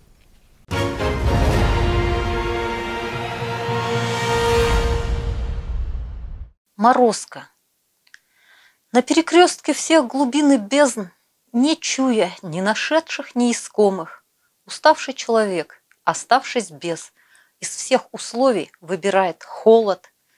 Любил кого, кому-то задолжал, ходил, наверное, в детский сад и в школу, обнявшись крепко, на земле лежат он и его период ледниковый.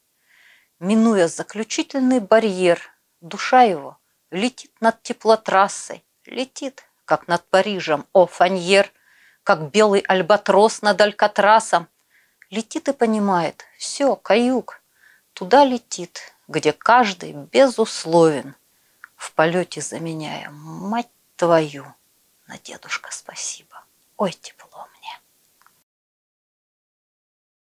Ярик. Ярик, кричит детвора под балконом, Выходи, Ярик! Взгляд его Васильков, кровав под бой одеяний, В руках его автомат, детский, Как настоящий, говорит Ярик, Швыркает соплями и на меня автомат направляет И возглавляет колонну римлян, Следующих на нерест. Ярик стреляет в любую нехристь, В любую нечисть. Эрих Мария Ремарк, Рильке Райнер Мария – прячутся под лавочку возле дома, дрожат, превращаясь в ежат противотанковых. Ярик идет в атаку. Ярик становится танком, комфортабельным, благоустроенным. На башне надпись «За Родину». Дуло направлено на меня. Взгляд его Васильков, глаз голубой, небесно-голубой. Сейчас лопнет, обрызгает меня с головы до ног. Ярик, голубоглазый, бронированный, направляет на меня автомат. На башне надпись «За Родину». В университете города Кёнигсберга идет лекция профессора Канта. Сидя на лавочке, разглядывая наркоманов и куртизанок, целующихся друзей в желтых штанах и розовых рубашках, вижу отдельно стоящего Ярика – Ярик направляет на меня автомат, почти настоящий. Будто бы я, наркоманка и куртизанка, будто бы получил приказ, заказ на наркоманов и куртизанок, будто бы и не было никогда никакого канта. Я становлюсь антанта. Ярик направляет на меня автомат и смеется. Встаю с лавочки, говорю, Ярик, не заслоняй солнце. Ярик, солнце, оно как мячик, только он настоящий, совсем настоящий. Бабушка Ярика на пятом этаже выпекает вафли. Бабушка кричит «Ярик, иди есть вафли!» Небесно-голубые глаза чисты, небесно-голубые глаза чисты. Ярик взлетает на пятый, ест вафли. На нем форма люфтваффе. Смородина. Разбарабанивая сумерки, трамвай на зонтично и суетно, стирая грани и рисуя их, никем не выпит и не спет, мерцающе мироустроено, нечаянно на город пролитый, как будто бы река Смородина, течет грохочущий проспект, на непогоду и невыгоду, стабильно выдыхая выхлопы, оставшийся без права выбора – на берега швыряет слизь, Топча ногами грязь и слизь его, Обочины широколиственной, Апостолы с евангелистами, пока еще не родились, не отражая лица постные евангелистов и апостолов по сумеркам, кого-то посветлу, течет смородина река, мироустроена заманчиво, она притягивает мальчика, и мальчик, оставаясь мальчиком, в нее ведет купать щенка. Горыныч змей рычит, что вроде бы проглотит мальчика смородина – стремясь привычно выпить кровь его, клокочет у прохожих ног под взглядом боженьки японского по броду полосато конскому перелетают аки посуху, ее и мальчик, и щенок. Корчной. Корчной не брит, корчной немного дик, глядит на мир из семьдесят восьмого. Я точно знаю, Карпов победит. Но я опять на стороне Корчнова. И наплевать, что он уже не наш, и все равно, что я не знаю шахмат из всех коней. С2H5OH к соседям в гости ходит тихим шагом. Наверное, они его родня, они близки, они как пиву пена, а я не Карпов, нет. И у меня ни био, ни энерготерапевта. Возможно, станут пешка, слон, ладья когда-нибудь редкоземельной солью и растворятся в жидкости, но я... Сегодня я, увы, не Том, не Сойер. Сегодня я живу в СССР. Мне срочно надо выучить девизы, включить девизы в повести, эссе. Но мой не черно-белый телевизор, поймавший передачу с Филиппин о том, как для коней куют подковы, мне говорит, не спи, не спи, не спи. И опять на стороне Корчнова – Советский человек, советский, но я не советский человек индиго. Я знаю все, поскольку я корчной, и это я тогда не победила. Ему тогда один бы на один, но карма, что поделать, это карма, и он бы победил, но победил, и это точно Анатолий Карпов. А людям что? Балет и общепит, и ликовать в своих хрущевских норах. Я точно знаю, Карпов победит, но я всегда на стороне Корчнова.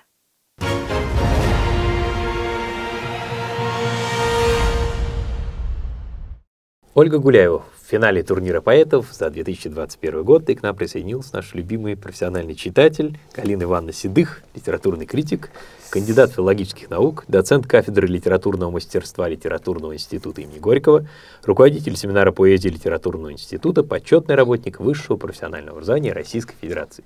Здравствуйте, Галина Ивановна. Здравствуйте, здравствуйте. Всем привет, всех с наступающим заранее Новым годом.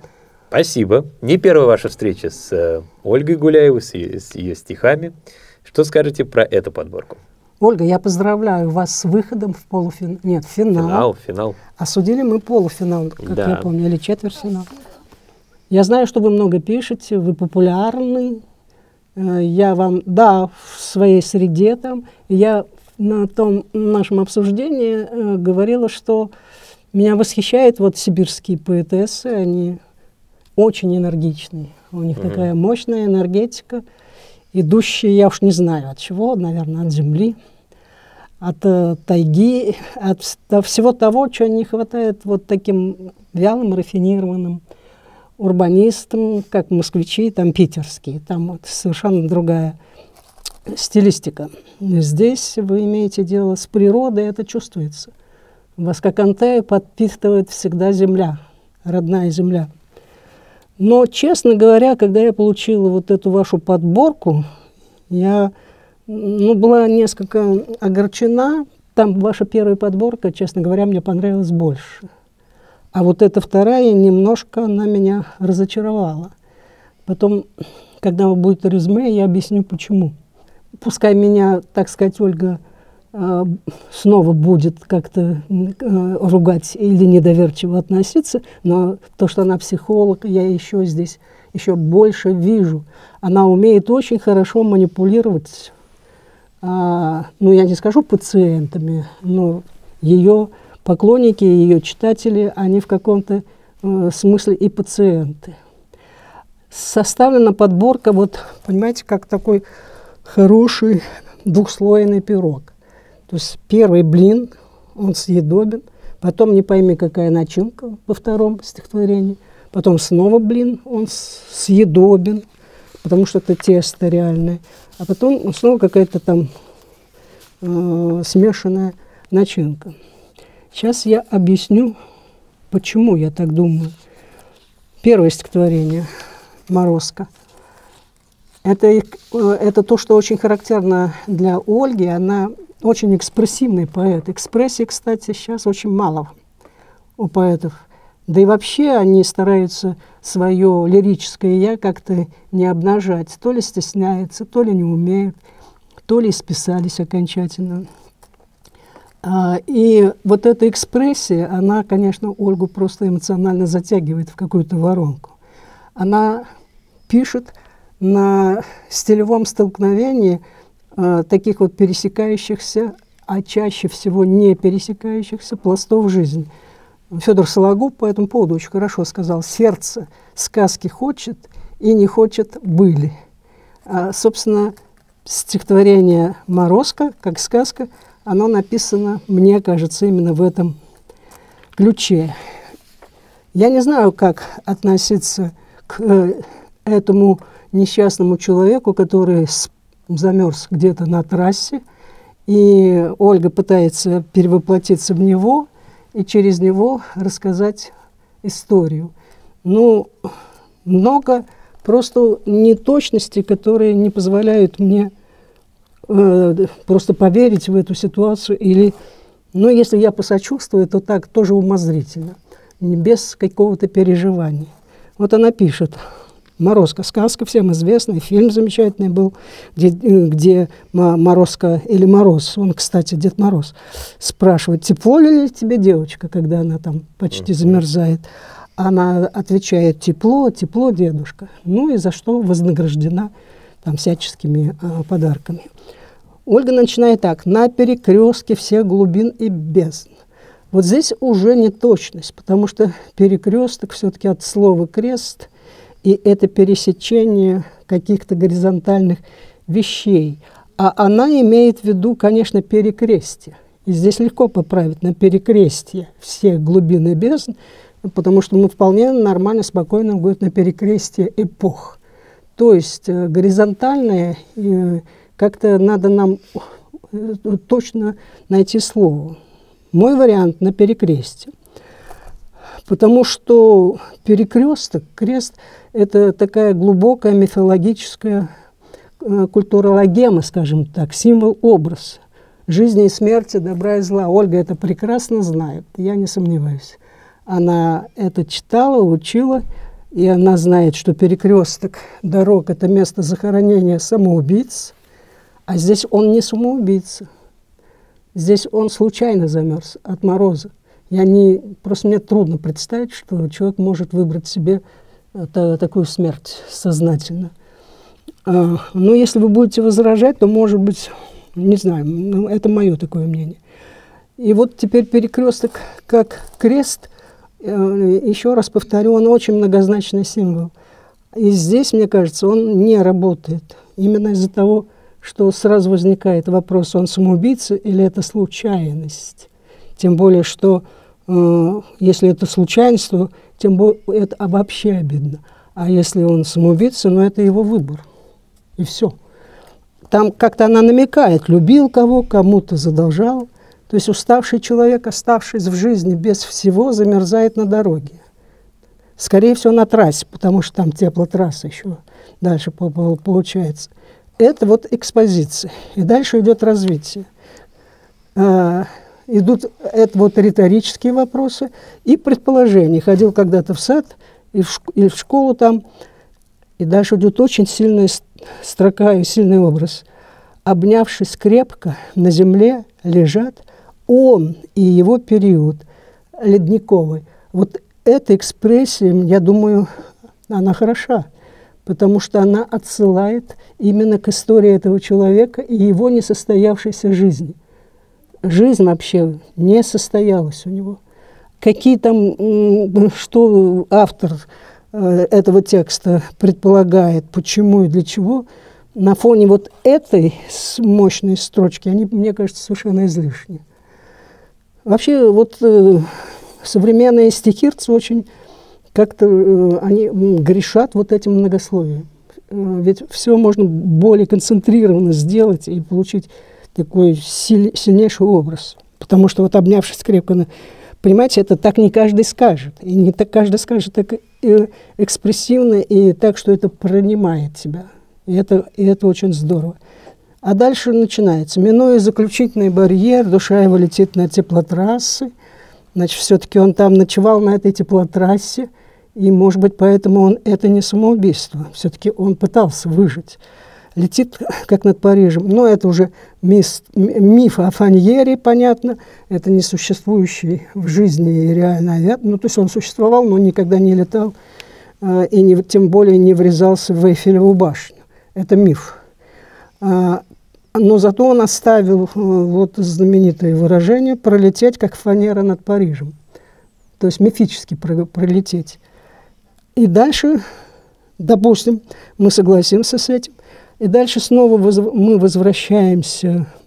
Это вот о, о ничтожности жизни, а дальше о холоде. Э, как белый альбатрос над Алькатрасом. Очень здорово. Во-первых, белый подчеркивает эту холодность, снег, э, морозы. И Алькатрас – это вообще жутко. Э, кто знает, конечно. Ну, я думаю, посмотрят читатели, которые как-то любит Ольгу. Ну, э, она молодец, она это нашла, потому что это бывшая строгая тюрьма на острове, по-моему, где-то в Калифорнии, на острове, одна из чудовищных, как Гуантанамо на Кубе. И сейчас это музей, ну, она омывается вот этими холодными ледяными водами океана, и из нее невозможно убежать. Ты сразу замерзаешь в этой воде. Еще никто не переплыл на материк с этого острова. Летит и понимает его душа. Все, каюк туда летит, где каждый безусловен. То есть уже, ну, как бы его определили в какую-то или в рай, или в ад, куда-то его определили, он безусловен. И дальше хорошо, в, в полете заменяя мать твою, ну, понятно, на дедушка спасибо, ой, тепло мне. Вот это странное сопоставление сказки и реальности вот этого человека. Получается, что из детской сказки о Морозко в реальность страшной гибели человека, замерзшего, но благодарного эм, дедушке Богу за то, что он его освободил. Что и... мальчик у Христа на елке. Да, да, вот это прям, я говорю, рождественский рассказ. Uh-huh, uh-huh. Если это описать прозы, это будет просто э, святочный рассказ. У меня здесь плюс-минус неоднозначно. Я как-то отношусь... Какие-то моменты Ольги мне очень нравятся, но, в принципе, ко всему остальному, что там написано, есть вопросы. Но, ну, мы очень подробно разобрали первое стихотворение. Предлагаю следующее все-таки разбирать не Да, так тут э, на втором, к вашему счастью, это значит вот то, что я называю э, первый блин, да, пласт, а второй начинка. Ольга, мне вот э, в вашем втором и в последнем стихотворении просто не симпатично отношение к самой теме. Сейчас объясню. Значит, этот Ярик, ну понятно, это ребенок, который играет в войнушку, воображает там, я не знаю, себя честным каким-то воином. Он описан так замечательно. Да, вот тут сразу ошибка взгляд его Васильков. То есть э, это для вас типичная ошибка. Вы ставите притяжательное место, местоимение, а, и получается, что взгляд Васильков. Взгляд Васильков. На самом деле э, от этого его надо вообще спокойно отказаться, и получится взгляд Васильков. А так его Васильки, его Васильковый взгляд. Э, есть большая разница, да? Вы хотите сказать, что его глаза как васильки, его ну, взгляд. Да, да. А получается, что васильки э, это его. Э, ну, посмотрите там внимательно, взгляд его васильков. Уберите это его притяжательное местоимение. Дальше пошла литература. Гробав, подбой. Да, вот взгляд каков мы спрашиваем? Васильков. Э, подбой каков? Кровав. Но вот это уже чистая литература, потому что мы сразу вспоминаем кровавый подбой плаща Понтия Пилата. Причем тут это? Хочется экспрессию Ольги вот так вот усилить, но не попадать же полностью в литературу. И опять, в руках его автомат. Ну, понятно, а где он еще? В руках автомат детский. Дальше он почему-то возглавляет колонну римлян, следующих на нерест. Вообще ничего не понимаю. Но думаю, что это просто кровавый подбой сбил Ольгу с, с, с ее цельного пути. И он же не играет в римлян. Понятно, потому что он там на танке какие римляне. Ярик стреляет в любую нехристь, это хорошо, в любую нечисть. Эрих Мария Ремарк, ну а почему не оставить Райнер Мария Рильке, даже, по-моему, мне так кажется лучше, точнее. Ну вот они прячутся, все замечательно, хорошо. И дальше Ярик идет в атаку, Ярик становится танком. Ну почему комфортабельным? Ну современным, наверное. Речь о том, что он, это танк современный, благоустроенный. И дальше я в шоке. Оказывается, это наш танк, на котором написано «За Родину», и это излишние вообще не те ассоциации. Я не понимаю выпада.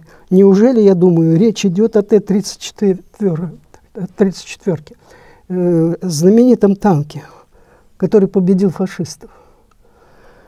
Дуло направлено на меня. Значит, я предлагаю убрать вот это вот на вообще башню э, за Родину, убрать это. Это совершенно другая и нехорошая тема. Мы Родину так потеряем. Я вам это постоянно говорю. Если вы будете сублимироваться на этой теме. И дальше пошла взгляд, та, та же ситуация. Взгляд его Васильков, глаз голубой небесный. Но она вроде как пишет э, многословный портрет. Но это чрезмерная педалированность. Мы уже этого я, Ярика видим. Э, тем более, что он, он там сейчас лопнет, обрызгает меня с головы. Его взгляд – очень, кажется, можно воспроизвести. Это не, это не его следы, не, не слезы, не его взгляд. Э, это какая-то натуральность, которая для Ольги очень характерна, как экспрессия. Но она здесь не работает, она уводит мысли в другую сторону. Яре голубоглазый, ой, бронированный. В общем, опять на башне надпись «За Родину». Если она дважды повторила это, как психолог она знает, что это действует, что это провокация что это провокация. А дальше совершенно замечательно. Это я бы все выкинула. Вот с бронированного за родину. То есть вся тема танка должна уйти. Но если Ольга дважды повторяет, значит, для нее это важно. А для Вам читателя не нравится, мне это естественно не, не нравится, потому я, что это Т-34. И что он делает там как фашист? Понять, но, но Ольга, значит, для нее это важно. Сам дважды Вы меня повторить. извините, это важно для определенной категории политически настроенных людей. Ну, вот значит, это вы важно просто по-разному политически настроены с Ольгой. Вот этого не надо. Мы родину потеряем с таким Нет, настроением. Я понял, Ольга, я, вы я понимаете? Ваше мнение понимаю. Ольга понимает тоже меня. Потом, потом, на подожди. меня, на моей родине можно автомат направлять? на моей родине, на меня можно Через Т-34, что ли? Через Т-34, ну перестаньте, о чем вы говорите. Давайте дальше. А вот дальше замечательно. Во-первых, вы не у себя на родине, вы в Кенигсберге. Это уже совершенно другая психологическая ситуация. Вы пишете о Кенигсберге. Там вот, значит, там все так хорошо идет. Лекция профессора Канта, она прекрасно знает, что такое Кант и о чем он говорит. Он гуманист в высшей степени. Его абсолютная идея, что все должно быть замечательно хорошо, она, кстати, достаточно ложная, эта идея. Она такая соблазнительная. Но она, конечно, ну, как, как всем гуманистам, она очень приятственна. Кант великий философ, об этом даже нечего говорить. Но вот он, он же вроде э, сидит на, на, на лавочке, этот Ярик, э, в стране стоит. Он разглядывает наркоманов, куртизанок, людей в розовых штанишках, посыл совершенно ясен, в желтых рубашках.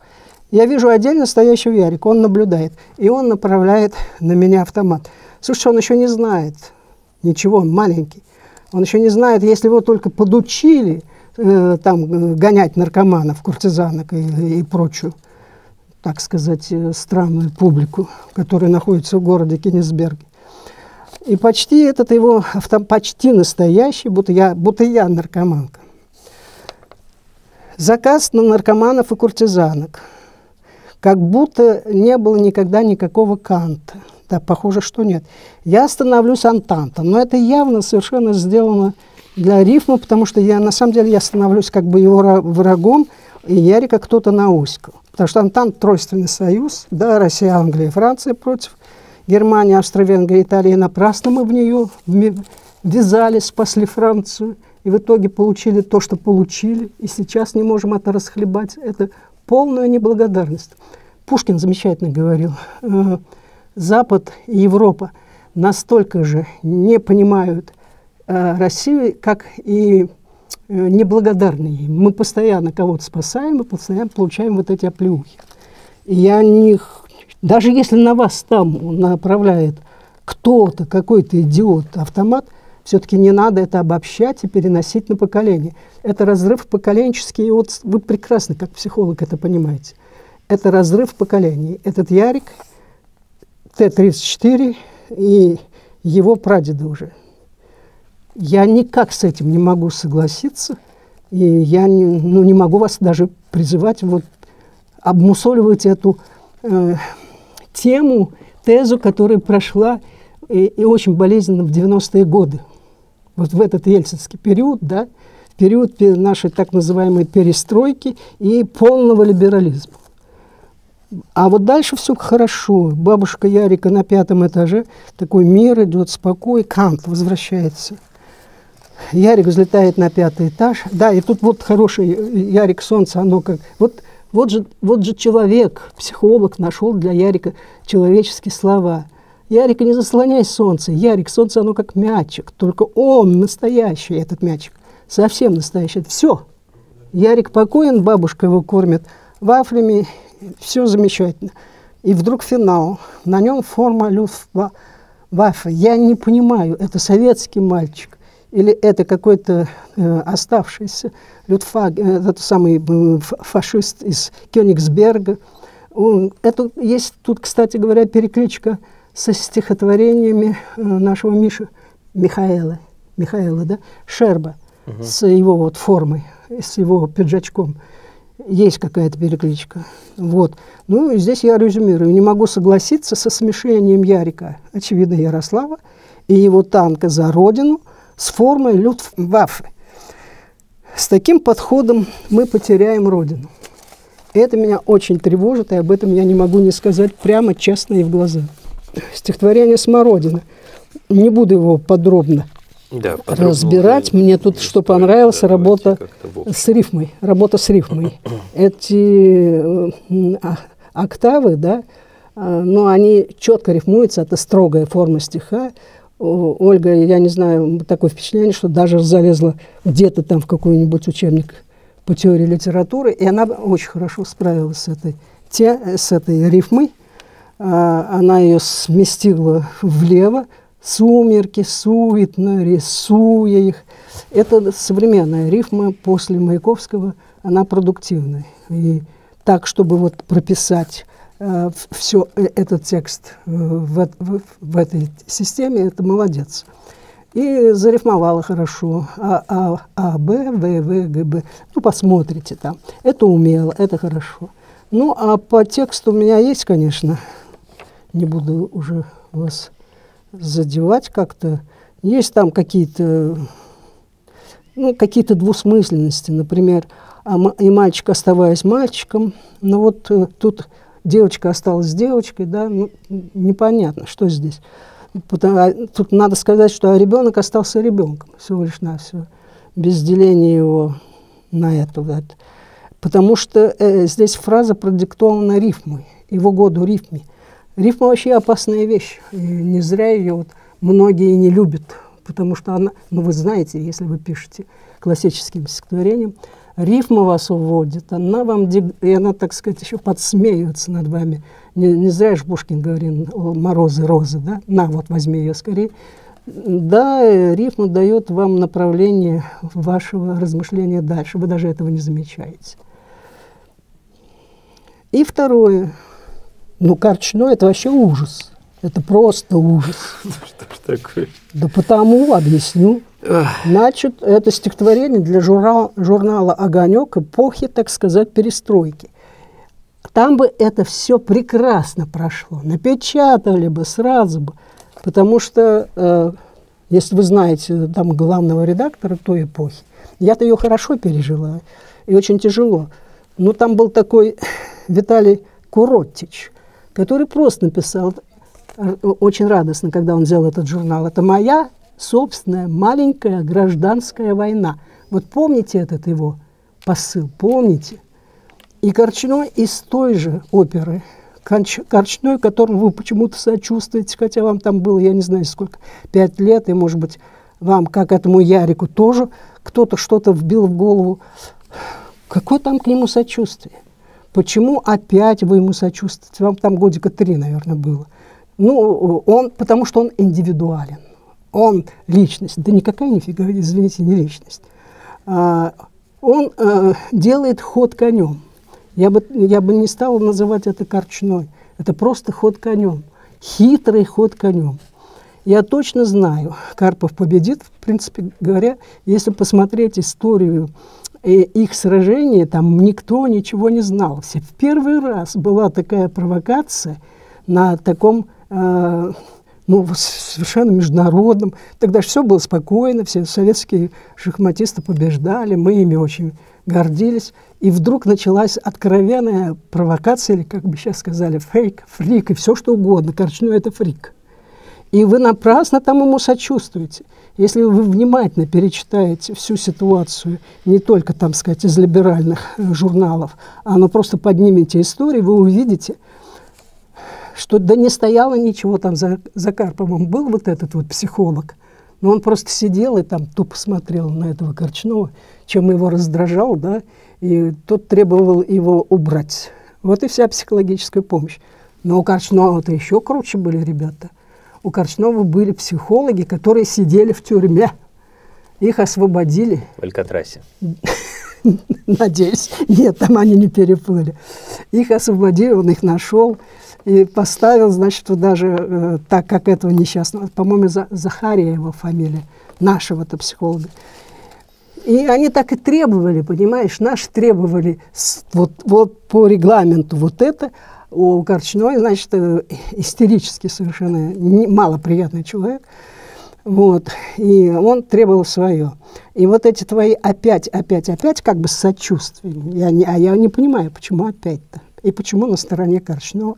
Вот вся шумиха была рассчитана, ты пишешь там, вы пишете там, что на незнающие. Но вот она и была рассчитана на таких незнающих. Ну, как, которые... Э, я не знаю, почему они сочувствуют, можно найти других героев. Ну, допустим, Солженицын. Ну, я понимаю, тогда еще можно как-то сочувствовать. Но здесь-то за что? За что? Вообще такой ритм очень на Высоцкого похож. Я точно Возможно. знаю, Карпов победит, но я всегда Есть, есть, это, наверное, Корчнова. но это и про, это поется. И, кстати, это мне очень помешало, потому что вот я тут рисовала, рисовала, а негде рисовать. Вот можно было бы разбить это и, кстати, опять очень многословно, многословно, многословно. И, и экспрессия за счет многословия здесь ну, ну, никак не работает. А, и вот, э, ну все тут, понимаешь, вот, сегодня я живу в СССР, мне надо срочно выучить девиз. Да господи боже мой, я же еще раз говорю, что хотел, тот учил, кто не хотел, тот не учил. Я не учила. И, видите, жива, я даже процветаю. А, и поэтому я не могу вот это признать за оправдание. Это неправда, неправда, правда. Понимаешь? Поймаша передачу с Филиппин. Ливан, но нет так, что у вас э, как-то идеологические стихи вам не близки, и, а, и поэтому вы их не принимаете как Идеологические стихи? вот такие, вот да, такие, да, потому да, что да. они по пафосу... Это вам не близко, да, они по но... паф... Нет, это неправда. Просто я жила в это время, и я знаю, что все вот то, что она тут наградила, надо надо просто себе предъявлять. Мне не нравится вот это четкое деление автора на своих и чужих. Эта тема проходит, эта тема проходит. Она очень болезненная, и она мне не симпатична. Здесь не в корчном дело, а в тенденции. Оль, к сожалению, это диссидентские стихи с таким откровенным нафталином. Извините, но я иначе его не, никак, этого Коротича, не воспринимает. Ну, а теперь, конечно, можете да. возражать. Ну, Ольга... Где там про политику-то? Я не очень поняла, где там про политику. А при чем тут политика? Я говорю не о политике, а, а о мировоззрении и отношении к России. Нет, Ольга, ну а как вы считаете, что если у вас стихотворение, я сейчас не, не то, что я с Галиной Ивановной согласен, но у вас в стихотворении танк за родину, и потом этот Ярик с голубыми глазами оказывается в э, фашистской форме. Но тут, знаете, вот я тоже далек от политики, но у меня тоже вывод в том, что вы говорите о том, что все русские сейчас фашисты, что приходит да время, нет, как... конечно.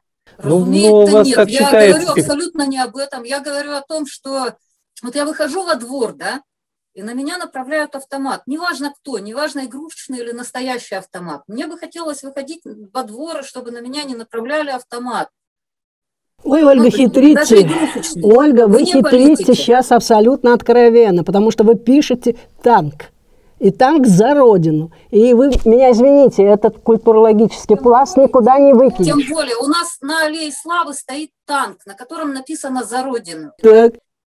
Вот 34-ка. И вот мне очень страшно, когда вот мой согражданин любого возраста направляет на меня автомат, э, который видится мне дулом этого танка. Ну, то есть, когда почему, вот войну все сплоченные, почему вы не а видите, Почему вы не видите реальных фашистов? А почему вы их почему-то проецируете через танк Т-34 за родину?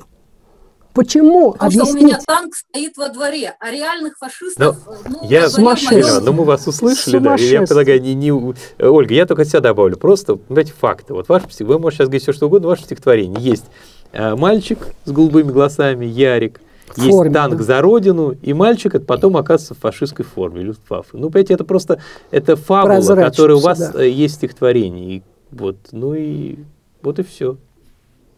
Ну, это то, что это то, как я это дело все вижу.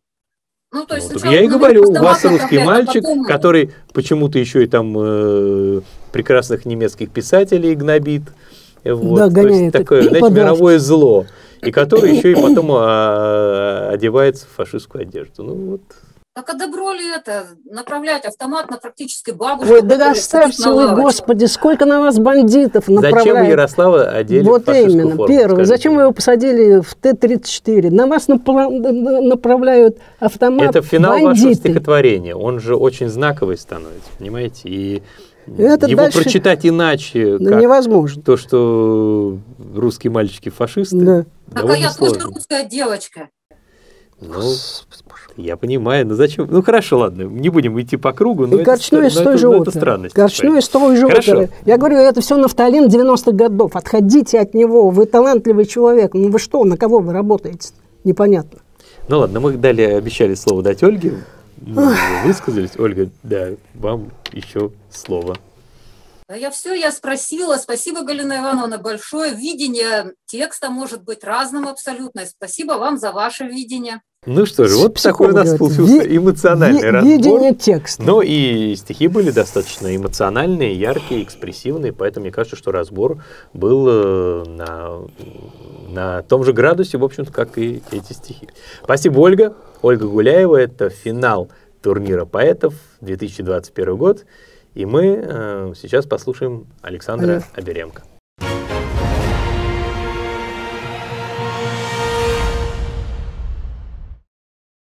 Лишний мир. Заратустра сидит у огня и готовит грок, а у ног золотистый барашек все прыг да скок.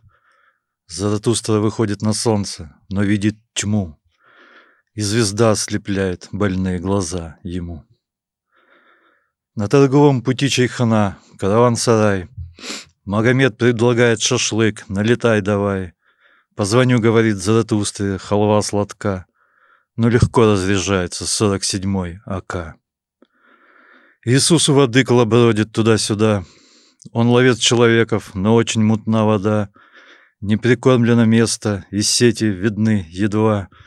Человек не клюет, а клюют караси, плотва. А над всеми покоится небо, где глади А под небом живет человек, пробегает мышь. Разбредаются божьи твари, им несть числа, И никто никому не желает добра и зла. Магриб. А он говорит, послушай, поедем в Большой Магриб. Там птицы, живые души когда-то погибших рыб. Там золото и алмазы. Там слово, сорвавшись с уст, едва упадет и сразу стихов вырастает куст. И тьма за его спиною, густая сырая тьма, И в ней чередой сплошною пустые стоят дома. Никто не живет в деревне, в округе мертвым мертво, Но льются слова из древней, пернатой души его.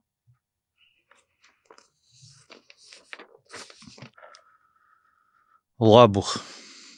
Что земные царства, и что мне суть, И полвека вяло текущей жизни, В тот момент, когда я хочу уснуть, Утомленный, грузный и неподвижный, Умножает скорби гранит наук, Где следы зубов, молодых и слабых. Что мне знать еще? Оглянусь вокруг. Там во сне играет небесный лабух. Исполняет смоки и шокин блу. У него затасканный стратокастер, а его потрепанному крылу не хватает перьев. Они, к несчастью, выпадают. Времени мерный ход. Засыпают землю. Звенит гитара. И не видно глупому мне с высот Ни младенца в яслях, ни Бальтазара. Имена. От бесконечной работы худа, бледна, Смерть приходила записывать имена, Сослепу тощей рукой по листам водила И посыпала бумаги сырой землей, Черным проклятием вместе с травой гнилой. Жидкими были карминовые чернила. В страхе запишешь подобное, а потом Смотришь за тем, как играет Господь с холстом, Где опускается солнце за лес мохнатый, Сосны становятся тонкими на просвет, и понимаешь, убогий, что смерти нет, и улыбаешься медленному закату.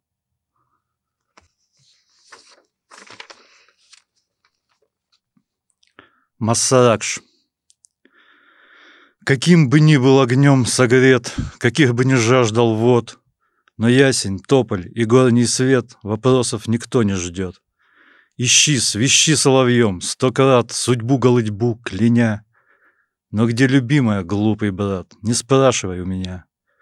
Я сам всего лишь послушный страж тех самых ворот зари, Хотя бунтующий Масаракш сидит у меня внутри. Я должен эти врата стеречь, волынку тянуть за хвост, Держать в кавычках прямую речь под рог путеводных звезд. Садись к огню, наливай и пей тоску, беспокойный брат. Но есть условие. Ты, Орфей, не должен смотреть назад. Забудь любовь, посмотри наверх, там мечется звездный рой. Там самый чистый идет четверг, но тянет землей сырой.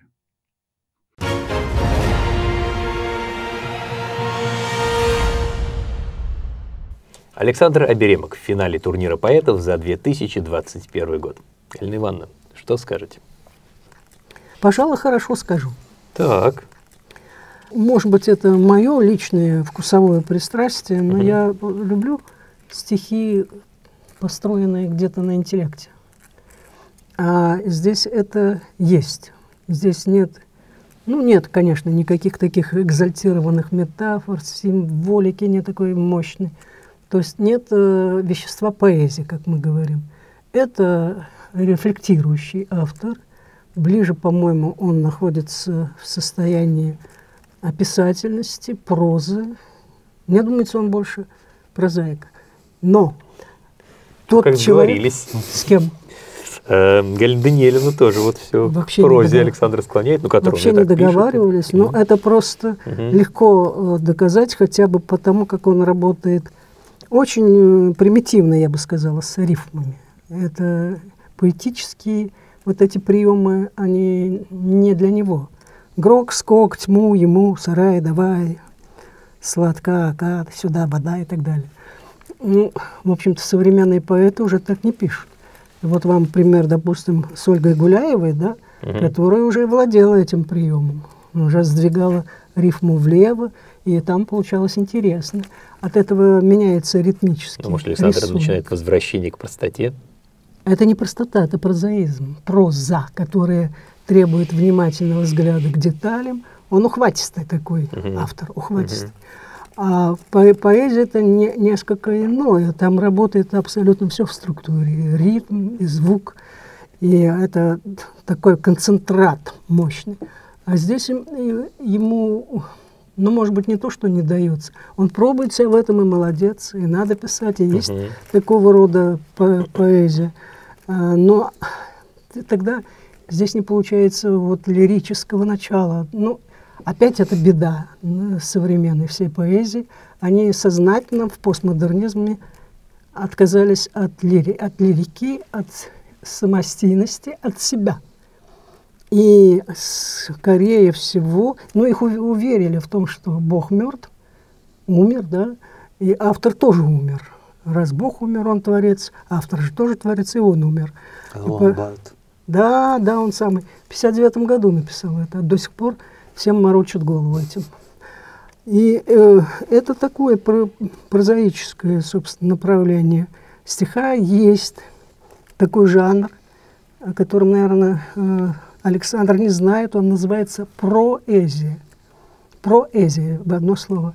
То есть проза и поэзия, как бы они вместе объединены. Но один из представителей ее, ну, допустим, Кирилл Корчагин. Он, знаете такого? Да. О, как здорово. Обычно его знают вообще такие просто филологи. Я же филолог.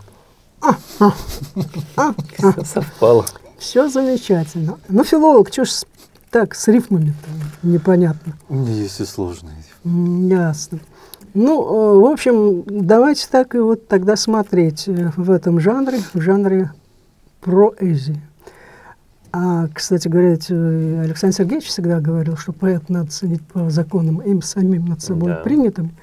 Ну, а вот здесь вот так вот принято в поэзии это, по-моему, сейчас это отходит каким-то образом. Но такие э, авторы есть. Но вот давайте, э, лишний мир. Ой, я думаю, что Александра очень били читатели – за то, что он пишет Заратустра Магомед Иисус с маленькой буквы. Я тоже не люблю этого, и, потому что меня э, тут вот что смущает. Так говорил Заратустра, это понятно. Если начинается Заратустра, значит, вместе с ним начинается Ницше. Мы знаем, что Ницше первый сказал, что Бог умер, да, и написал Авесту свою со своим сверхчеловеком в этой концепции нет ни добра, ни зла. Это полная какая-то выжженная пустыня. Потом мы дойдем до того, чем кончил сам Ницше. Плохо кончил.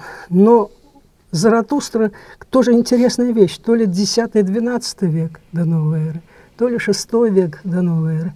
Никто точно сказать не может. Но это очень давно, это огнепоклонники, и поэтому Ницше они были интересны именно в этом качестве. Да. Заратустра сидит у огня и готовит грок. А у ног золотистый барашек все прыг да скок. Ну, понятно, что зарежут. Сейчас на, употребят э, как шашлык. А дальше Заратустра выходит на солнце. Значит, вот это объекты описания с маленькой буквы, еще говорит, они меня смущают. Ну вот сразу же пропадает интерес к чтению ясно, что все пойдет на снижение. А если пойдет на снижение, значит, это литература. Литература как расхожий материал для того, чтобы его подать читателю. Поэтому Заратустра, Магомед, Иисус. Я потом, значит, особенно меня, ну я уже совсем не знаю, что думать. Легко разрешается 47-й АК. Дался вам это такая. что у Гуляевой, что у Александра, все с калашом. Но хотя, может быть, Магомед там не Магомед, а условный какой-то, там да, Махмуд, да, Махмуд, да. да? Но они все условные. А вот эта ситуация очень, очень опасная, потому что если мы будем вот это нагнетать туда, то будет естественная фраза из «Белого солнца пустыни» «Махмуд, поджигай». И тогда, если это подожгут, мало не покажется. То есть с этим надо очень осторожно. Я выкладывал это стихотворение на один из конкурсов, и перед этим советовался с друзьями, спрашивал, а что мне там не пришьют? Да, говорят, да нет, ничего, все нормально. Да ничто тебе не пришьют русские, а как там посмотрят. Да, да, да, да. Я М- магометяне, это же, это мы терпим, а там к этому очень относятся, сам понимаешь, как. Вот, значит, и тут есть такие персонажи, Заратуст, Заратустра.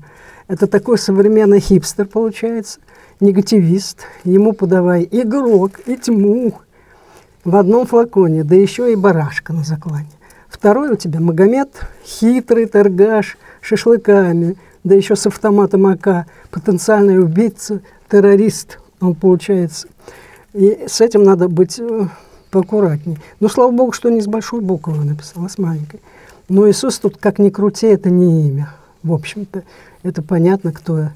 И, и здесь он получается таким лузером.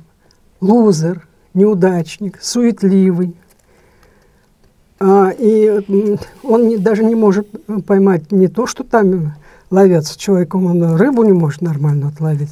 Но рыбы, мы же знаем, это символ раннего христианства. Это, собственно, это анаграмма имени Иисуса Христа. И дальше получается вывод из всего этого. Такая экзистенция от э, Александра Аберемока. Я правильно произнесла? Аберемка. Аберемга. А над тем покоится небо, где гладь и тишь. А под небом живет человек, пробегает мышь.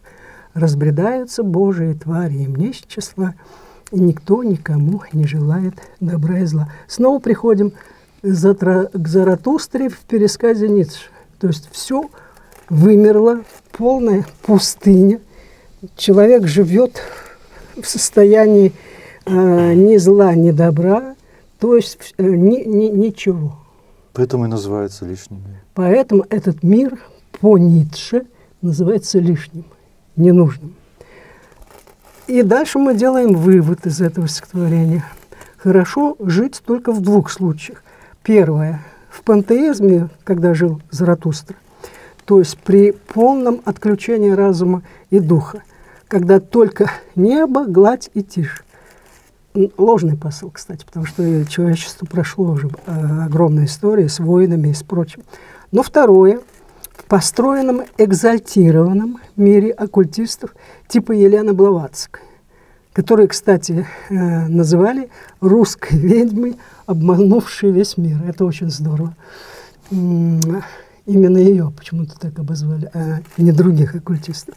Но эти оккультисты, это вот как раз вот и получается этот Иисус, он, э, который как бы подготовил, э, Магомед-то был, конечно, попозже исторически, но он подготовил вот эту ситуацию, хотя он, конечно, всегда боролся за добро и прекрасно понимал, где добро, где зло. Но так вот вышло, извините, что мир перешел в ситуацию Ницше. А, лишний мир, где не желают добра, ни добра, ни, ни зла, это мир сверхчеловека Ницше, где Бог умер. Устроит ли он нас? Сам Ницше сошел с ума, а под конец жизни увидел в реальности, это очень интересно, сон Раскольникова об избиении лошади. Александр, наверное, знает это. Первый сон Раскольникова об избиении лошади. Он был так потрясен этим, что он увидел ее реально – ну, это был сон Раскольника явленный, да, когда э, там избивают лошадь э, в, в, в вознице. И он был настолько потрясен, что перестал говорить. Ницше под конец жизни стал изихастом, да. И он перестал говорить. Он кончил, как, вы знаете, очень со своим сверхчеловеком очень плохо. Дальше не, не, не столь философски, потому что все-таки лишний мир о нем как-то сказать в проброс, это было бы странно. Ну, Магриб в переводе, тут все важно посмотреть на перевод, тоже все с маленькой буквы, конечно, но может здесь это правильно, потому что в переводе это означает «заходящее солнце», уже посыл культурологический. Ну, мы знаем, что это страны Северной Африки, Тунис, там Алжир, Марокко. Сейчас они уже стали великим Магрибом, когда освободились от колониальной зависимости от Франции. Ну вот, а, а он говорит, послушай, в общем, первая часть, то есть 200, первый он говорит, вторая, то, что, чего он хочет. там реальность и нереальность. Там в доисторические времена был океан на этом Магрибе. Там хорошо ленивому стихотворцу, как ему кажется. Там все растет и цветет по причине очень хорошего климата. Все само собой, все само по себе. Но это в мечтах. А в реальности совсем иное. Тьма, пустота, мертвечина. Это все прописано. Мы помним, что Магриб в переводе «заходящее солнце», но автор не хочет продолжать эту тему. Финал вполне оптимистичный. Древний Магриб с большой буквы, замечу. Это, на мой взгляд, так надо его там обозначить, в древности. Э, колония Франции. Ну, сейчас они стали великим Магрибом, еще присоединили, по-моему, пять стран. Ну, раз присоединились, значит, там под, подразумеваем, что это не заходящее солнце, а действительно новые, новые штаты, магрибские, арабские. Вот стихотворение «Лабух» мне понравилось. Mm-hmm. Ш, э, Лабух, э, я бы еще э, его э, так назвала, как «устал». Устал. Что земные царства, что мне суть?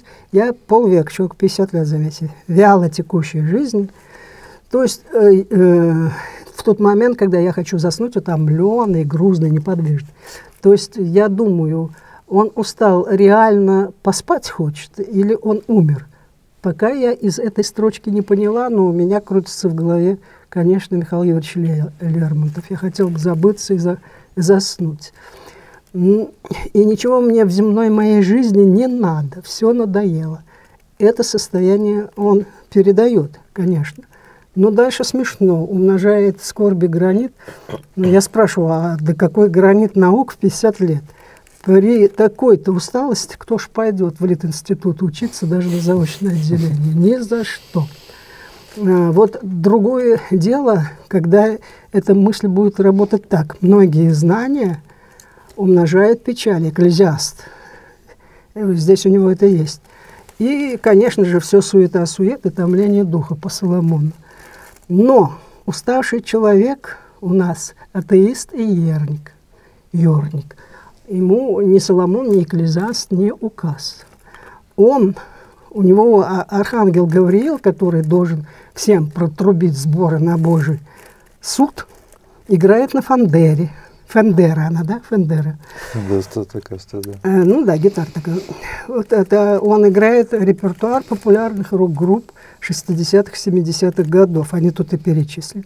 Вот как какой-нибудь лабух. Это уже смешно. Гавриил вроде лабуха с большой буквы. Да он, собственно, и есть лабух, только небесный. Он тоже устал и из, из ряда пообтрепался от своей работы, теряет перья, из крыла. Здесь явная отсылка, по-моему, к песне Бутузова «Крылья», да?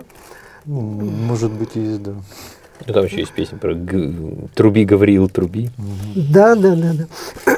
ну, влияние есть вот рокеров наших. А дальше у него появляется младенец в яслях. Христос, это ясно совершенно, он не обозначен, но мы понимаем. Бальтазар – это здесь, в данном случае с маленькой буквы, но это антихрист, скорее всего. Нет, это один из волхвов. И да. антихрист. И антихрист Их два есть. Бальтазара. Поэтому я и спрашиваю, противопоставление младенца Ну, в любом случае, ему не видно, то есть их нет. Он опять оказывается в мире, где нет ни добра, так ни этот зла. же Лабух да. смотрит, прости. Э, он не видит младенца, Лабух. Он там вместо... Глупому мне с высот да. не видно. Не видно мне глупому. Вот глупого надо в запятые выделить. Mm. Это же все-таки понятно, да, да как да. филологу. А с высот э, так глупый до сих до них все-таки добрался, я спрашиваю, да? Ну. Стоят у ворот апостолы ключника Петра, а может и вместо него.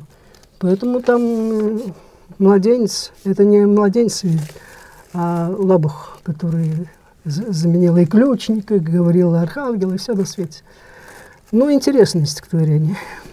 Стихотворение а, имена тоже понравилось. Почему? Потому что тут еще одна уставшая особа. Она же смерть она и раздраженная от своей утомительной работы. Ей даже чернила выдают небесной канцелярии какой-то некачественный. А ей же надо сделать перепись всего населения. Но она уже не может. И, и инструмента никакого, и народу много. Вот он это написал, испугался. Написал это кощунство, испугался, но потом избыл свой страх стихотворением. Ну, очень хорошо. И вот уже солнышко не пугает своим магрибом, а напротив гонит мысль о смерти прочь. Хорошее настроение, несмотря на явный троллинг. Троллинг в данном случае умерен, уместен. И вроде и, и смерть такая какая-то, тетка такая вообще-то, которая перепищется.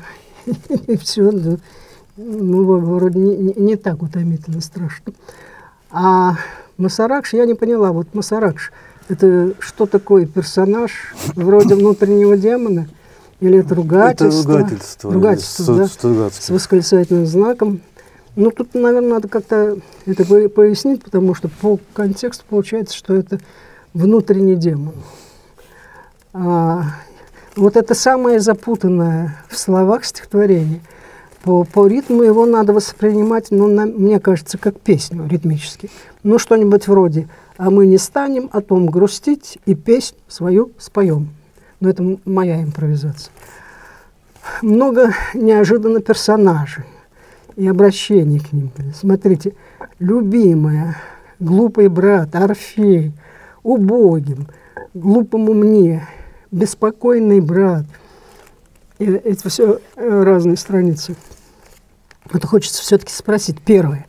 Есть ли здесь аллюзия на библейских братьев Авеля и Каина, когда он говорит про глупого брата? Может, имея в виду себя, а может, там действительно у него в тексте какой-то реальный брат – Второе. Если нет, то беспокойный брат Орфей должен оглянуться на любимую и остаться навечно в аде. А здесь так не получается. И третье. Умный брат, который я, автор, это абсолютно понятно, призывает забыть про любовь и садиться к земному, а не к горнему огню. А ведь у нас благодать, ясень, тополь и прочее. Это наиболее, наверное, такая симпатичная позиция. А, но дальше идет совершенно невнятно. Я этого брата, я брата, в смысле он брат, уже в небесах стережет в врата зари не хуже апостола Петра, а то и вместо него. Эта тема была в предыдущем стихотворении. Но при чем тут Орфей? И вообще он из иной культурной парадигмы, этот герой. Его зовут в звездный рай, нет, рой, у него тут звездный рой, и ему напоминают о, о земле сырой, который в фольклоре есть не что иное, как могила, да? Конечно. смерть.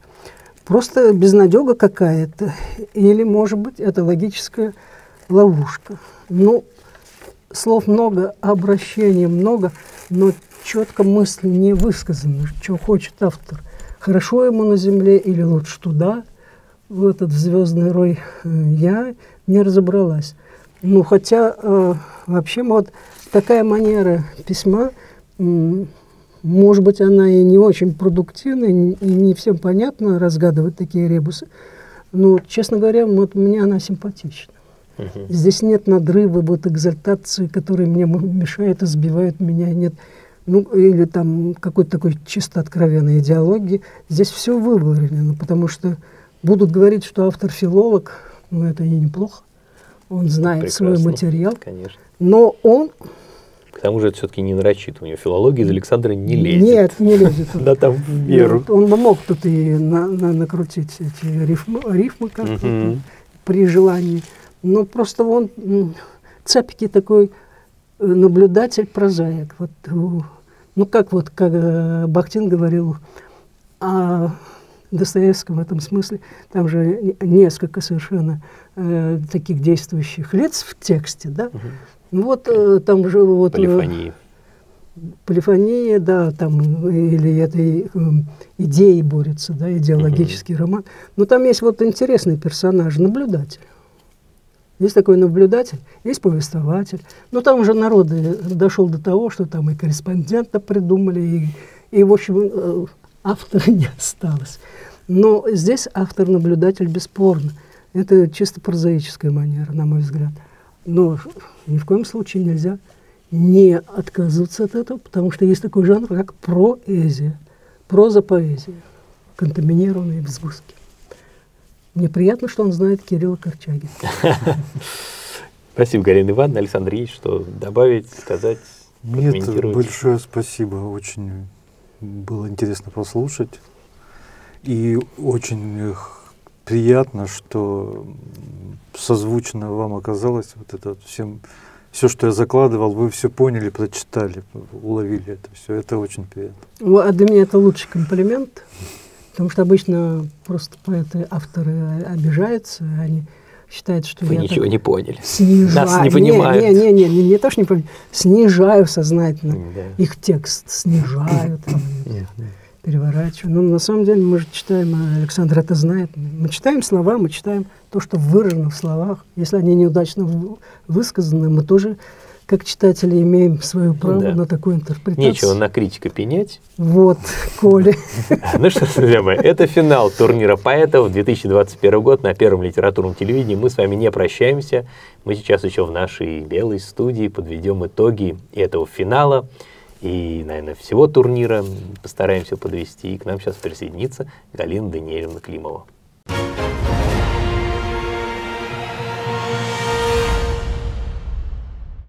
Ну что ж, подходит к концу финал турнира поэтов. Но на самом деле это только передача подходит к концу, а самые это главные бои. Мы знаем, где развернуться. Ну что ж, друзья мои, выбирайте тех поэтов, кто вам ближе, аргументируйте, пишите свои отзывы, не переходите на личности, хотя вы все равно на них перейдете. Но я надеюсь, что все-таки э, победит поэзия в первую очередь. Ну что ж, хочу вас поблагодарить, две наши Галины прекрасных, да. за, за, за финал. И как-то давайте немножко поделимся впечатлениями, как вам финал, достоин ли он такой, ну, финальная или получилась игра, или не очень финальная. Какие впечатления? Мне очень жалко, что вы были очень хорошие авторы, просто сильные. Угу. Ну, это дело случая, акциденции. Но я их э, как ценю по, э, по тому, как они читают. Правда, это очень важно, потому что раньше я вообще это не ценила, читала только с текста. А сейчас вот, допустим, Гуляева, по-моему, хорошо Ольга читает. Хорошо. Да, да. она читает уверенно. Чего не могу опыт. сказать про Александра. Про Александра. Александр просто очень, очень волновался. Волновался? Он очень мало, волновался, мало. да. Mm-hmm. А, видимо, не часто выступает. Наверное, Ольга Гуляева более опытный да, автор. Да. Вот. Но он читал тоже очень искренне. Ну, он вообще... Мне вот тоже, мне вот эта да. манера чтения, даже пусть да, спокойно, без а это волнение было даже, даже к лицу. Никакого да. форсажа не было, да. вот, да, ни да, наигрыша да. никакого. И позы, иногда бывает такая псевдолитературная как поза. Бы да. Вот, или, или даже актерская. Да, вот. А мне кажется, что Александр Аберемик очень естественно читал. Да. И да. он, и, ну, мы не будем сейчас за него, как говорится, топить, да? Зачем? Нет, ни в коем случае. Потому что нет, чтобы, чтобы наши слушатели понимали, что мы нейтральны, и наша позиция критическая, как критиков должна, или как читатели, должна быть абсолютно отстраненно холодная. Поэтому, если там нас будут подозревать в том, что мы за кого-то и как-то, нет, мы просто Только смотрим. если вас, Галина Ивановна. Меня? Мы чисты. Серьезно, неужели? Они провинились перед публикой? Конечно, провинились. Всегда виноваты критики. Вот это мне всегда смешно. Я не, не читаю вот эти разносы. Если похвалили, то молодец автор. Если поругали, то виноваты критики. Все Нет, ну я думаю, и, собственно, просто у каждого своя группа поддержки, у кого-то помощнее, у кого-то поменьше. Но тот, кто там, грубо говоря, тусуется во всех этих э, турнирах и прочее, прочее, у него, конечно, есть свои... Это, это как фанаты. На, вот попробуйте фаната из команды там Спартака, кто за Спартак э, да, болеет, да, да, его не переубедишь ни в чем, правильно? Нет, ни в коем случае. У меня все, все мои семейные мужчины. Спартак, вот, да, да, все спартаковцы, поэтому они все с шарфами. Да. Все высаживаются а, на диван. А если, если, если вы помните, у нас был да. Александр Михайлов, Ал Михайлов, критик, да, да, да замечательный. Да, да. Он вообще был фанатом ЦСКА, и у него как-то он нашел эту клюшку, ему вся, вся команда расписалась, и ее украли. Он был тогда проректором. Вы себе представить не можете, что с ним было. Это был просто ну, трагедия. Ну это, да, потеря... украли и задорого продали. Может, и не продали, потому что... Может ну, это, это же в институте, в литературном институте было. А он проректор был. И это было мне было смешно, но мне сказали, не, всме... не, не вздумай посмеяться. Нет, нет, нет. это, нет, это трагедия для человека, конечно. Да, нет, но потом врага, врага. Да, да, да. Вот, и поэтому вот сейчас вот, я думаю, Галина, кто как мобилизует свой электорат, своих фанатов, да, есть тот такое, и выйдет, да, тот да. и выплывет. Поэтому мнение критика, давайте мы его нивелируем, ругаться не будем.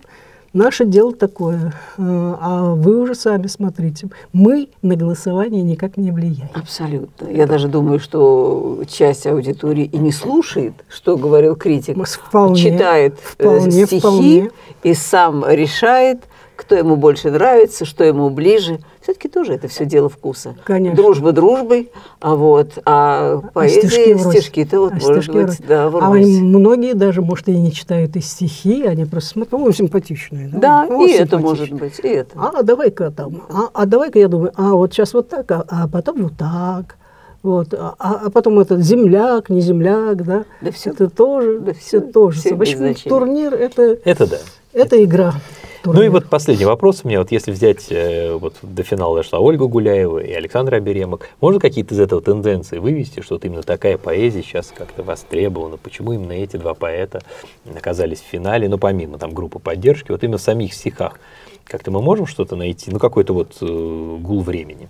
Ну, я вот говорю, что сейчас э, Галина имеет, конечно, дело как э, редактор журнала «Дружба народов», а но мы перечитанные. А я, как, значит, работающий постоянно с молодежью, я скажу так, что постапокалипсис остался. Да. Да? Да. Теперь рэперы как-то стушевались. Ну, здесь, да, ну вот здесь просто их не было, они в другом да, месте, но, да. Но они в, Лит, они в Лит-институте. У меня мой студент, да произнес на семинаре последнем потрясающую лекцию про всех рэперов. Я их теперь знаю прям в лицо буквально. Прям да, еще и показал. Я меня... даже вам завидую, да, я хотел бы послушать Серьезно? такую лекцию. Да. да, если бы вот институт был открыт, с удовольствием да, бы я позвал. Да, да. А, и он, он сам, у меня их там примерно четыре штуки э, рэперов, и все это было бы откровение. Ну, что им по 20 лет, да? А, этого здесь нет. А сказать, как там дальше пойдет, а, про, про, как, как полагаем, это вот самая проэзия, она будет... Прозаизация да, стиха. Не, вот, вот я, обратите внимание, ведь э, стихи в прозе вообще ушли, да? Да. Нет, То, ну все-таки бывают. Ну, они верливо, верливо ушли, да. все-таки в большей степени. Да. Вот это вот лирическое начало тургеневское, оно ушло. Почему-то это никак, никак не получается. Миниатюр, это трудно. Это конечно, очень трудно. Конечно. Это очень трудно. Вот. Писать а... прозой и сохранить вещество поэзии да. при этом, не потерять. Да, это да. трудно. Нет, ну, кстати, а вот у Беремика это есть. Есть. Он многословен, правда. И очень. так, да? Избыточный просто. Mm-hmm. Я, я его ругала за это в полуфинале. Вот как. Но мне кажется, что в этот раз подборка у Аберемка была составлена удачнее. И меньше у меня было придирок. Мне кажется, что все-таки очень важно создать, создать подборку. подборку. Это да. да. Создать правильную подборку, составить о себе адекватное а, впечатление, и хотелось бы, конечно, чтобы оно было положительное, да, чтобы тут... оно не вызывало раздражений, чтобы не вызывало каких-то таких вот а, противоречий. Мне кажется, что каждый, кто пишет, должен над этим серьезно подумать. Это, да, как первое. я буду выглядеть? Знаешь, тут может быть другая вообще тенденция, да. что составить на критика ну, э, критик, как всегда, профессионал все-таки, да? Да они уже Это всех одна. нас знают тоже. И все знают, кому, э, кому э, что нравится. Что Серьезно? нравится Седых, а что нравится Климовой. О, и они могут вполне ориентироваться и на это. И ради Бога, и ради Бога. Это их дело. А мне кажется, мы не голосуем, и поэтому они, конечно, в большей степени опираются на свою вот эту публику. Да. На своих фанатов. Да, да. А, ну, а что? Но она, фанаты их поддержат всегда. Да, по-любому, конечно. Да. Ну, вот поэтому здесь каких-то резких таких э, прорывов я не вижу. Но у Александра все нормально в традиции. А Ольга, я считаю, просто или она очень самонадеянна, или она неправильно составила подборку. Ну, вторую. Первая была хорошо. Ну, я первую не видела. Да, я да, говорила да. о второй. Там, так сказать, вот эти вот провокативные материалы, они вообще ни к чему. И они, ну, они просто, ну, мне обидно за нее. Конечно, просто обидно. Конечно, я вас понимаю, да. Потому что, ну что ж там пользоваться материалом 90-х годов, но это уже прошлое, это уже ушло.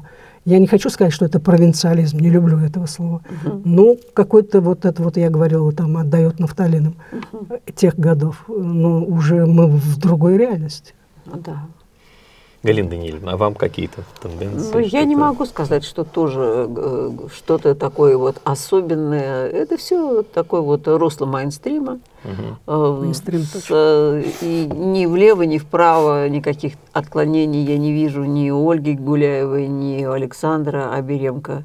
Каждый работает в своей поэтике, в силу своей а, индивидуальности, харизмы и в силу своего поэтического дарования. Хотелось бы влево-вправо этих отклонений? Нет, это всегда очень интересно. Да? Это очень редко встречается. В общем, тот поток, который к нам приходит в журнал или там вот на тех же э, форумах в Липке, вот. Да, все такое общелитературное, mm-hmm. общекультурное, mm-hmm. ровненько, сред... ровненько. среднепоэтическое, mm-hmm. как и среднестатистическое. И очень редко встречается mm-hmm. личность со своим поэтическим миром, со своим словарем, образной системой и так далее. Она может нравиться, может не нравиться. Это всегда всех, у всех волосы встают сначала дыбом, а потом все-таки ты понимаешь, вот это и есть вот своеобразие – своеобычный. Это вот тот самый неповторимый тип и его поэзия.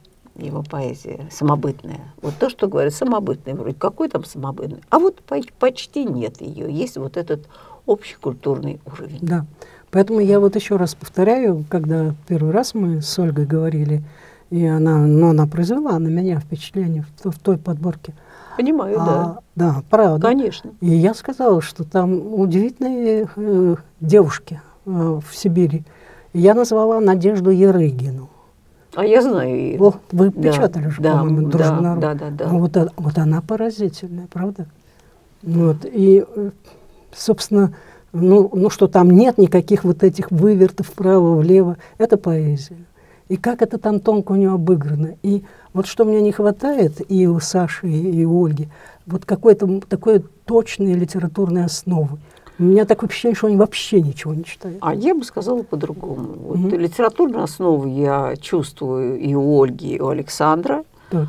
А вот не хватает личности, своеобразия личности. Серьезно? Вот мне кажется, вот я а, это чувствую. А мне кажется, личность и может формироваться вот кругом чтения хотя бы, ну как-то, и, и чтобы это а не судьба? было литературщиной. А, а это судьба? само собой. Литература а, судьба. Вот. Как а, Достоевский говорил, а судьба? Э, читайте книги, господа, все остальное сделает жизнь. Да. ну ничего себе, да. все остальное. Да, да. вот, вот здесь вот вы должны поставить точку. Да. Мне кажется, да. да. Мне кажется, что это... Да.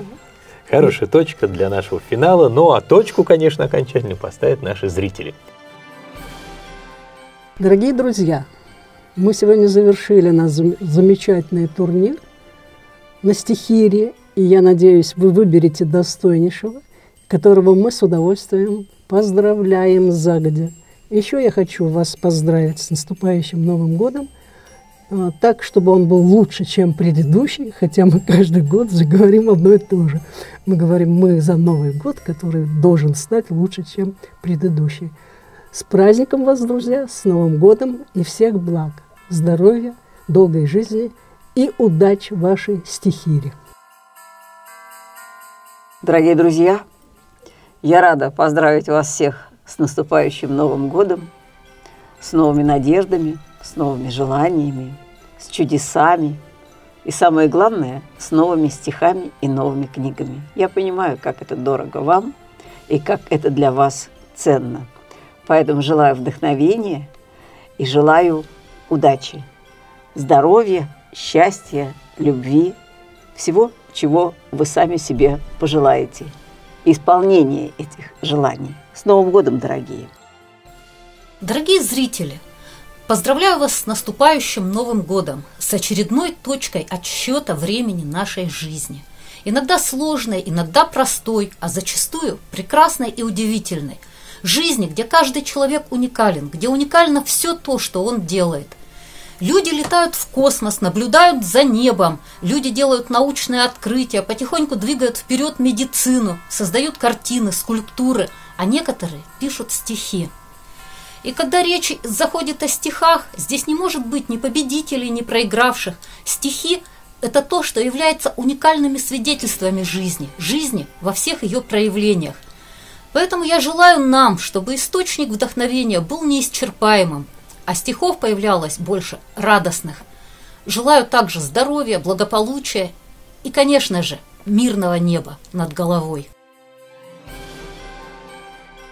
Уважаемые друзья, от всего сердца поздравляю вас с наступающим Новым годом.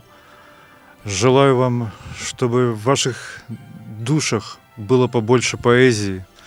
Желаю удачи, здоровья, счастья, любви. Будьте счастливы. С наступающим Новым годом!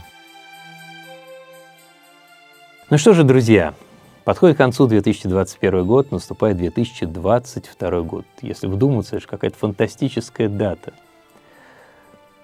Вот пусть год будет фантастическим, волшебным, пусть э, пишутся стихи, проза, э, пусть мы встретим какие-то новые замечательные книги, посмотрим новые фильмы, э, уделим внимание нашим близким, Желаю вам радости, здоровья и приключений. С Новым годом!